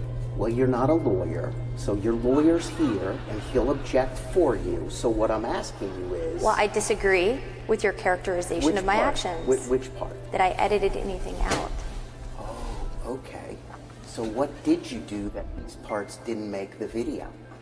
Well, so it's called editing. That's what happens when you're under oath. Weird things happen. They've never been held accountable in their lives until now. And they project, they, they, they are what they hate, and they project onto me what they are, like in another extraordinary moment. Did those last two statements make the your published final version of uh, of this confrontation with Miss Moss? I don't believe so. Why not? Because it wasn't necessary in the narrative that we were trying to produce. wasn't necessary in the narrative. See, that's who these people are at the New York Times and CNN. And do you know who this is? Oh, that's right. This man is an editor for the New York Times. We have deposition tapes into the New York Times, and we are going to release them. And they're going to be held accountable. They've never been held accountable. See, that's him waving his hand, swearing under oath. This is what we're going to be releasing, Dean Baquet, and you'll be held accountable, which you've never been held accountable before. Now, we've been banned from Twitter. Project Veritas has been banned from Twitter, which I view as a badge of honor, by the way. And uh, they've, they've banned us for quoting the CNN guy. I don't know why they didn't ban CNN. Completely banned. But we sued Twitter for defamation. We sued Twitter. And we recently won a huge victory in that case. Oh, Section 230. Well, they're not protected by Section 230 because this is what Twitter said about me. They said I created a fake account, which I did not do, so I sued them, and we're going to depose CEO Jack Dorsey under oath. That's what we're going to do. Now, Jack Dorsey thought that he could shut us down, cut my tongue out, but every, every story that we've done since the Twitter ban has trended on Twitter thanks to all of you. But, you know, that doesn't stop them from lying about us. As you all know, the Retracto alpaca is very busy. And, uh, you know, the Retracto theme song, it's great stuff. They keep lying over and over again. And they accuse me of being the liar. So this one, uh, one of my favorite retractions ever we did since I last was here was this Bloomberg reporter said that I was on an Amtrak train and I was, I, he said I wasn't wearing a mask as I was violating the mask policy. But what the Bloomberg reporter omitted from his article was that I was drinking a beverage. I can't wear a mask while I'm drinking a cup of coffee. So to demonstrate this, I have a colleague here, uh, Michael. Oh, there you go. Hey, Michael, come on out here. So, this is the absurdity. This is what they make me do. Bloomberg News had to print a correction. Uh, Michael's going to demonstrate you all how difficult it is, how implausible, how impossible to drink a beverage while one is wearing a mask, take it away.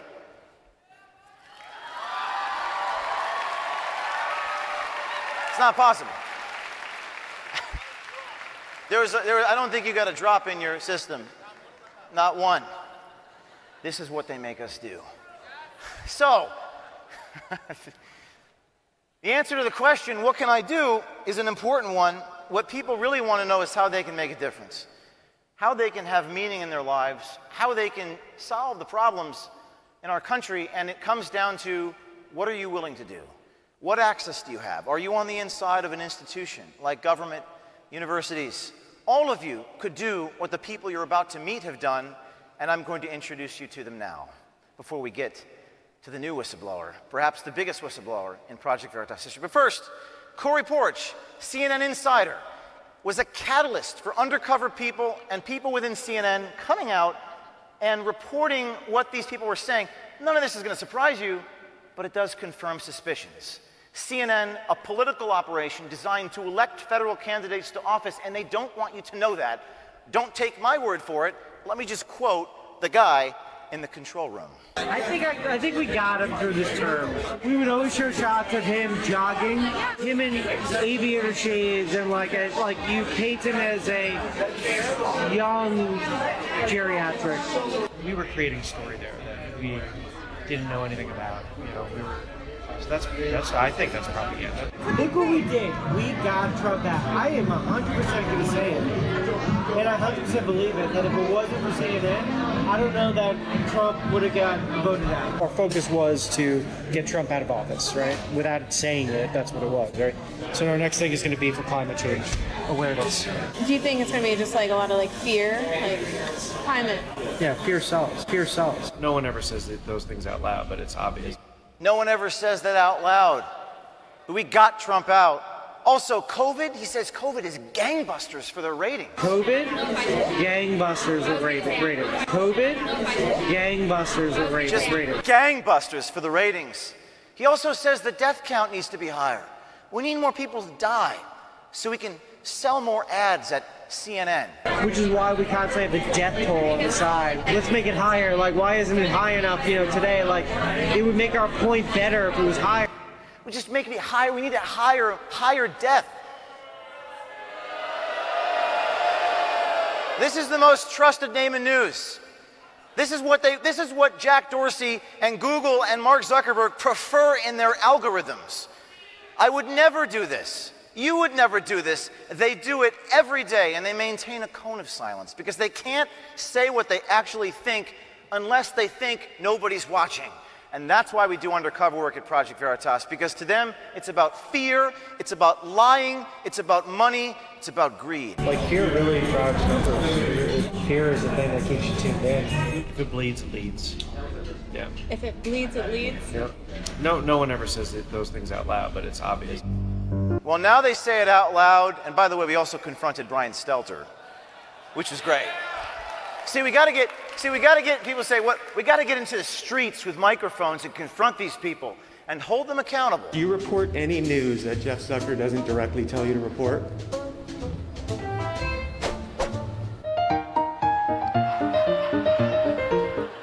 Brian Stelter was not happy to see us. Also, CNN Insider gave me access to the telephone calls, which we recorded for two months. And then I, I basically informed President Jeff Zucker that I had recorded his phone calls for two months. And uh, this was this extraordinary moment, which is probably one of my favorite moments at Project Veritas. You're unmuted. Hey, Jeff Zucker, are you there? Hey, this is James O'Keefe. Uh, we've been listening to your CNN calls for basically two months, uh, recording everything. Um, just wanted to ask you some questions if you have a minute.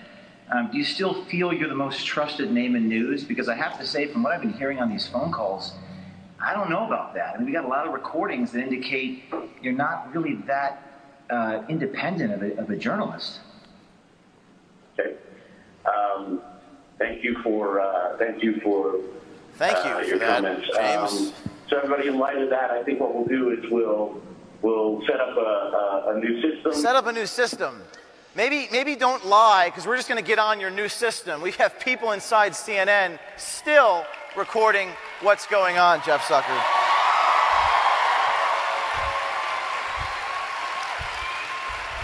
These people, these people just don't learn. We will find you, we will film you, and we will make you an unwilling internet celebrity, Jeff Zucker. So, by the way, we're suing CNN for defamation after the Twitter lawsuit. So, I look forward to uh, deposing Brian Stelter, deposing Ana Cabrera. De- I just love depositions. I, lo- I love being deposed because I really don't have anything to hide, and they have everything to hide. So we need to sue them. I asked Cary, why would you do this? Why did you wear a hidden camera and give up your career for the public's right to know? I decided to wear the camera because I didn't see any other option. Because I, I noticed that I was in a very unique position in space and time to just do something to protect the Republic. And Cary Poarch is here. Come on, Cary.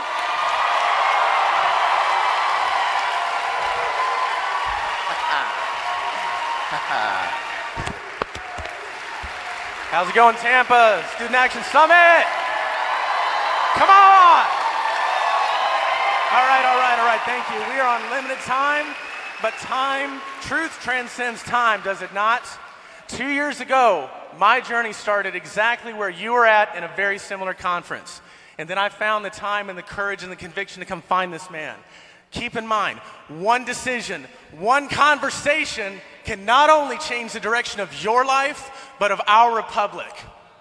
So, what we're doing, we're looking for the next one, two, 10, 25, or 100 people in this audience, wherever you work and you see the inequity and uh, corruption and malfeasance, we're looking for you to come find me or any of the other heroes you're going to be introduced to today. Come find us, we'll tell your story, and protect you on the back end. Cary Poarch. Cary Poarch was the beginning. He was the genesis of so many things to happen next. Recently, Facebook Insider, Morgan Kahmann, inside of Facebook, engineer, he released documents showing things inside Facebook, vaccine hesitancy. You're not allowed to talk about the vaccines, but Zuckerberg can talk about them. He was fired, but we raised Morgan half a million dollars in one day. And that, in turn, inspired more whistleblowers to come public. This is Zach Vorhies inside Google leaking us documents showing Google engaged in algorithmic unfairness. That means to say, even if it's factually true, Google will omit it from the search query because it might be unfair. Seems like something out of George Orwell. Well, that's because it is. He released presentations showing their programming people. I asked Zach, why would you wear a camera and give up your livelihood at Google? And he said this. I feel that when I'm coming and, and explaining what Google was doing, this is an act of atonement, okay, to make my conscience clear. And Zach, are you backstage? Come on out.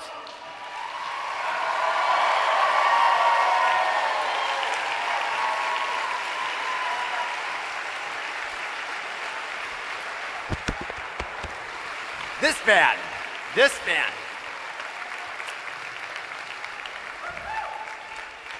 Don't be evil.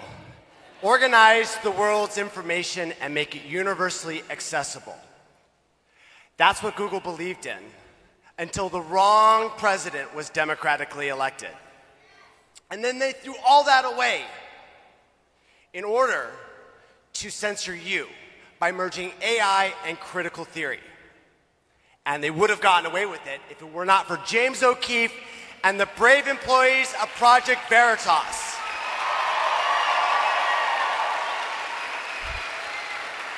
You, as students, are going to see some very evil things. Record it, and Project Veritas has your back. Thank you. Zach, at Google, these are some of the bravest people I've ever met, and they, they wouldn't ask you to do anything they didn't do themselves. Zach led to this guy, postal worker, Pennsylvania. Richard Hopkins overheard his supervisor backdate a ballot and went on the record while employed. And I heard him say to the supervisor that they messed up yesterday. That they and I was so I was like, oh, what did they mess up on?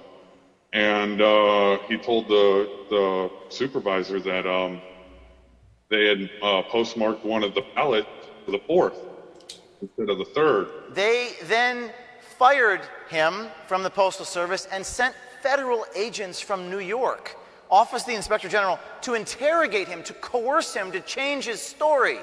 This guy was recorded by his phone. Richard had his phone recorded the whole interrogation.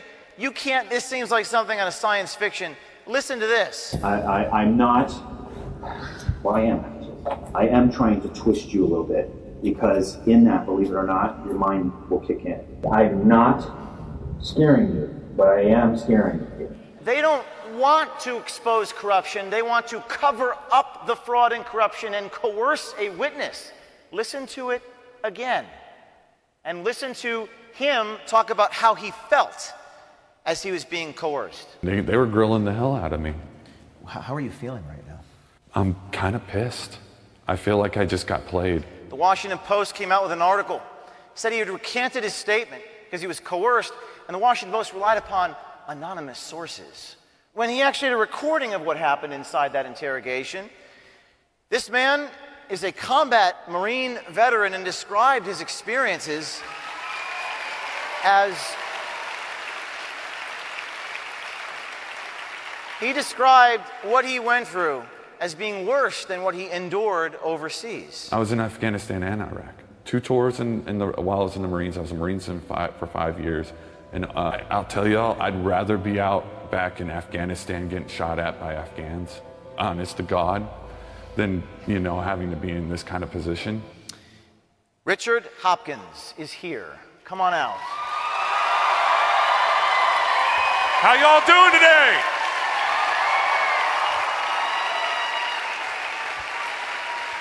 So, every cop, military member, postal worker, government official, they all take a similar oath. That oath begins with I, Richard Hopkins, do solemnly swear to protect the Constitution from the Constitution from all enemies, foreign and domestic.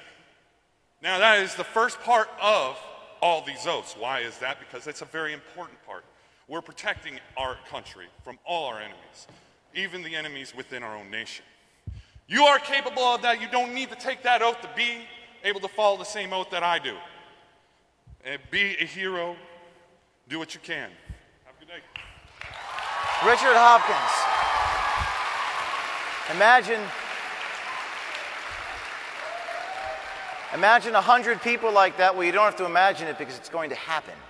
After he did what he did, we had news broadcasters come to us. We had, we had journalists, journalists working for television news. Ivory Hecker paved the way after going on the air and announcing the bias and what she viewed as the corruption at her local TV affiliate in Houston, Texas. Fox 26 reporter Ivory Hecker is live in Montgomery County to take a look at that aspect. Thanks, guys. That's right. Before we get to that story, I want to let you, the viewers, know that Fox Corp has been muzzling me to keep certain information from you, the viewers. And from what I'm gathering, I am not the only reporter being subjected to this. I am going to be releasing some recordings about what goes on behind the scenes at Fox because it applies to you, the viewers. I found a nonprofit journalism group called Project Veritas is going to help put that out tomorrow, so tune into them. But as for this heat wave across Texas, you can see what it's doing to AC units.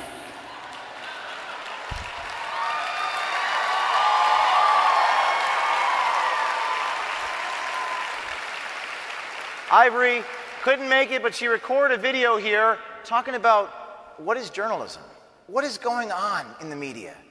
And by the way, as a result of what Ivory did, we've had dozens of people like her across the country reaching out to us. The primary purpose of journalism is to provide people with the information they need to be free and self-governing. That is a quote from my journalism school textbook a decade ago. The same textbook that warned of the threat of powerful news corporations and the monopoly that they can have on information. Since I came out with my true story as a journalist working for a powerful news corporation, I have heard from dozens of other journalists across the nation dealing with the same thing. Their corporations censoring out facts that don't fit the corporate interests. By shining light on this issue, I hope that we can return to the essence of journalism, which is an allegiance first to the citizens and the truth And by doing so, may we empower people with the information they need to stay free and self governing. Ivory Hecker. You're the journalists. Every one of you has the power to do this. You're the journalists.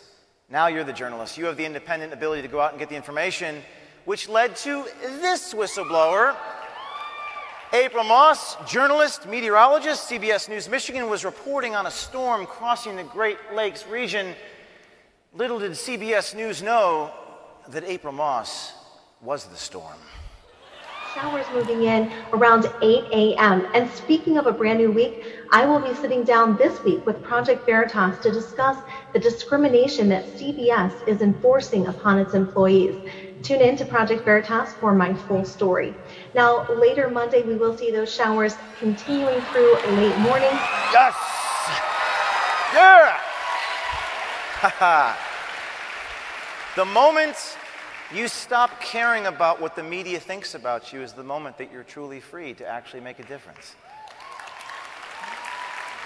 April, Mo- this is probably one of the most powerful things I've ever heard. And I know I'm going over. Hopefully, they'll let me do it because I'm about to bring on the next whistleblower. Before I do, please listen to April tell you why she chose to do this. It's not, it's not about me. They have no idea what it's like to, to be burdened with this and feeling like I'm watching my country disintegrate. And if I don't stand up and do something when I'm able to, you know, I just don't know that I could live with myself. We are supposed to be the people that bring light to corruption. So basically, they're going to use the power of all of Viacom CBS brand, brands. I, Is this I, journalism? I, I don't think that this is journalism at all. I think that I think that this is propaganda being pushed on people. Why would you do that? You know, basically, that's the most selfish thing I've ever seen. The only change is going to be, you know, on our weekend weather person. That's the only change. It's hard to hear that. You're a wife and a, a mother of four. How do they feel about this? They are so supportive. I'm so blessed to have them. They, they support me 100%. We put our faith and hope and trust in God. That's what we do. And April Moss's family had her back. We were able to raise her some money. April Moss, come on stage.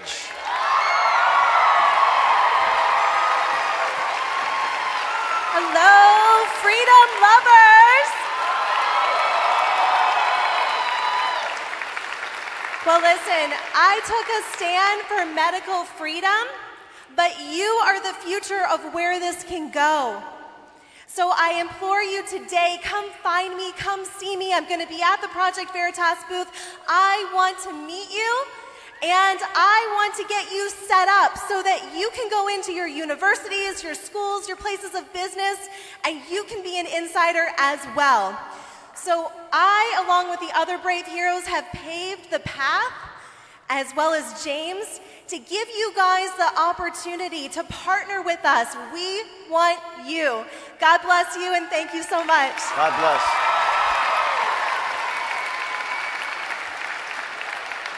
So much courage. Courage is the virtue that sustains all other virtues. And now, finally, the moment you've all been waiting for. We've never done this before, so we're going to go ahead and do it. This next whistleblower is probably, I think it's the biggest one we've ever done. He's currently employed right now. And uh, he, this story is going to go out the moment I bring him on stage on the internet. His name is David, like David versus Goliath. And these people here are our heroes. They are the answer to the question what can I do?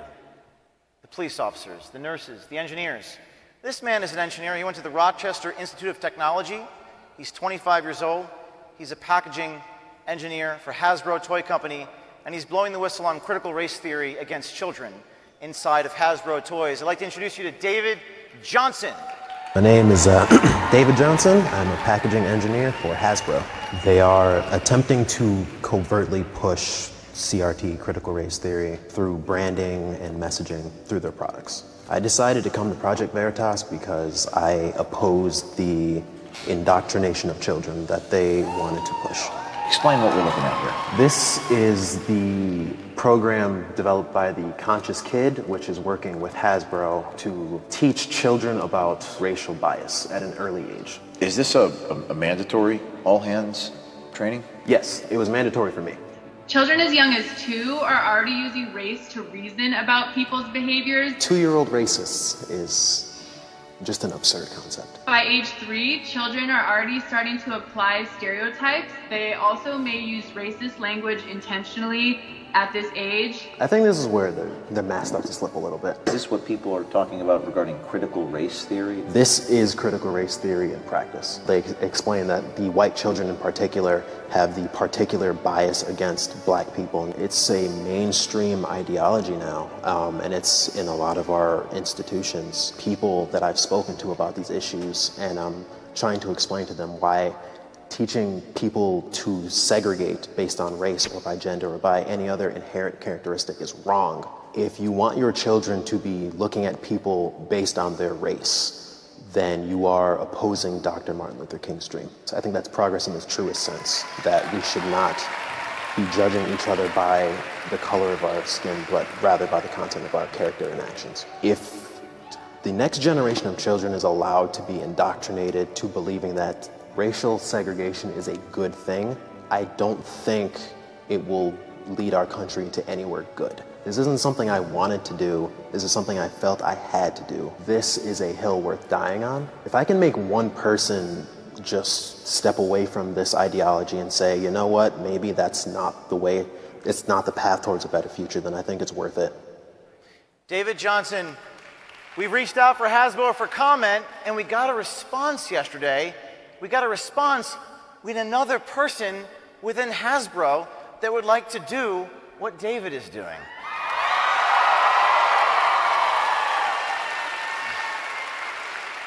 David, David, literally, David versus Goliath. Goliath is now, the oppressor is now the oppressed. Goliath is attacked on all sides, while David assumes new strength. The hunter becomes the hunted. David, come on stage. How you doing? Hey, thanks.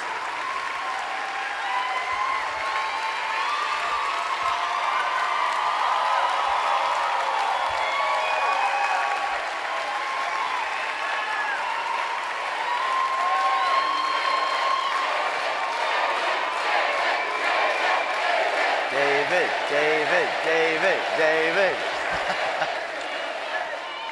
Wow, there's a lot of you. Um, didn't think I'd ever be doing this, but um, I think it's important to speak out against critical race theory in our country.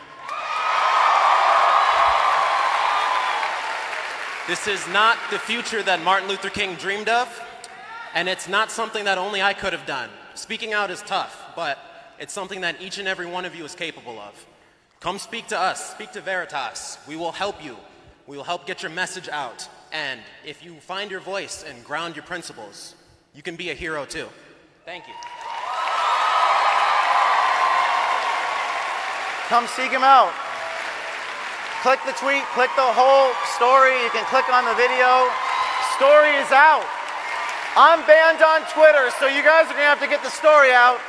And if you see waste or fraud or abuse or corruption, you know who to call.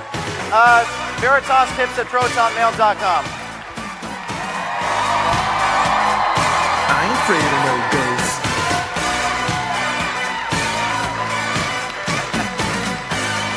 See you all tonight, I ain't 9 o'clock, no. Veritas Party.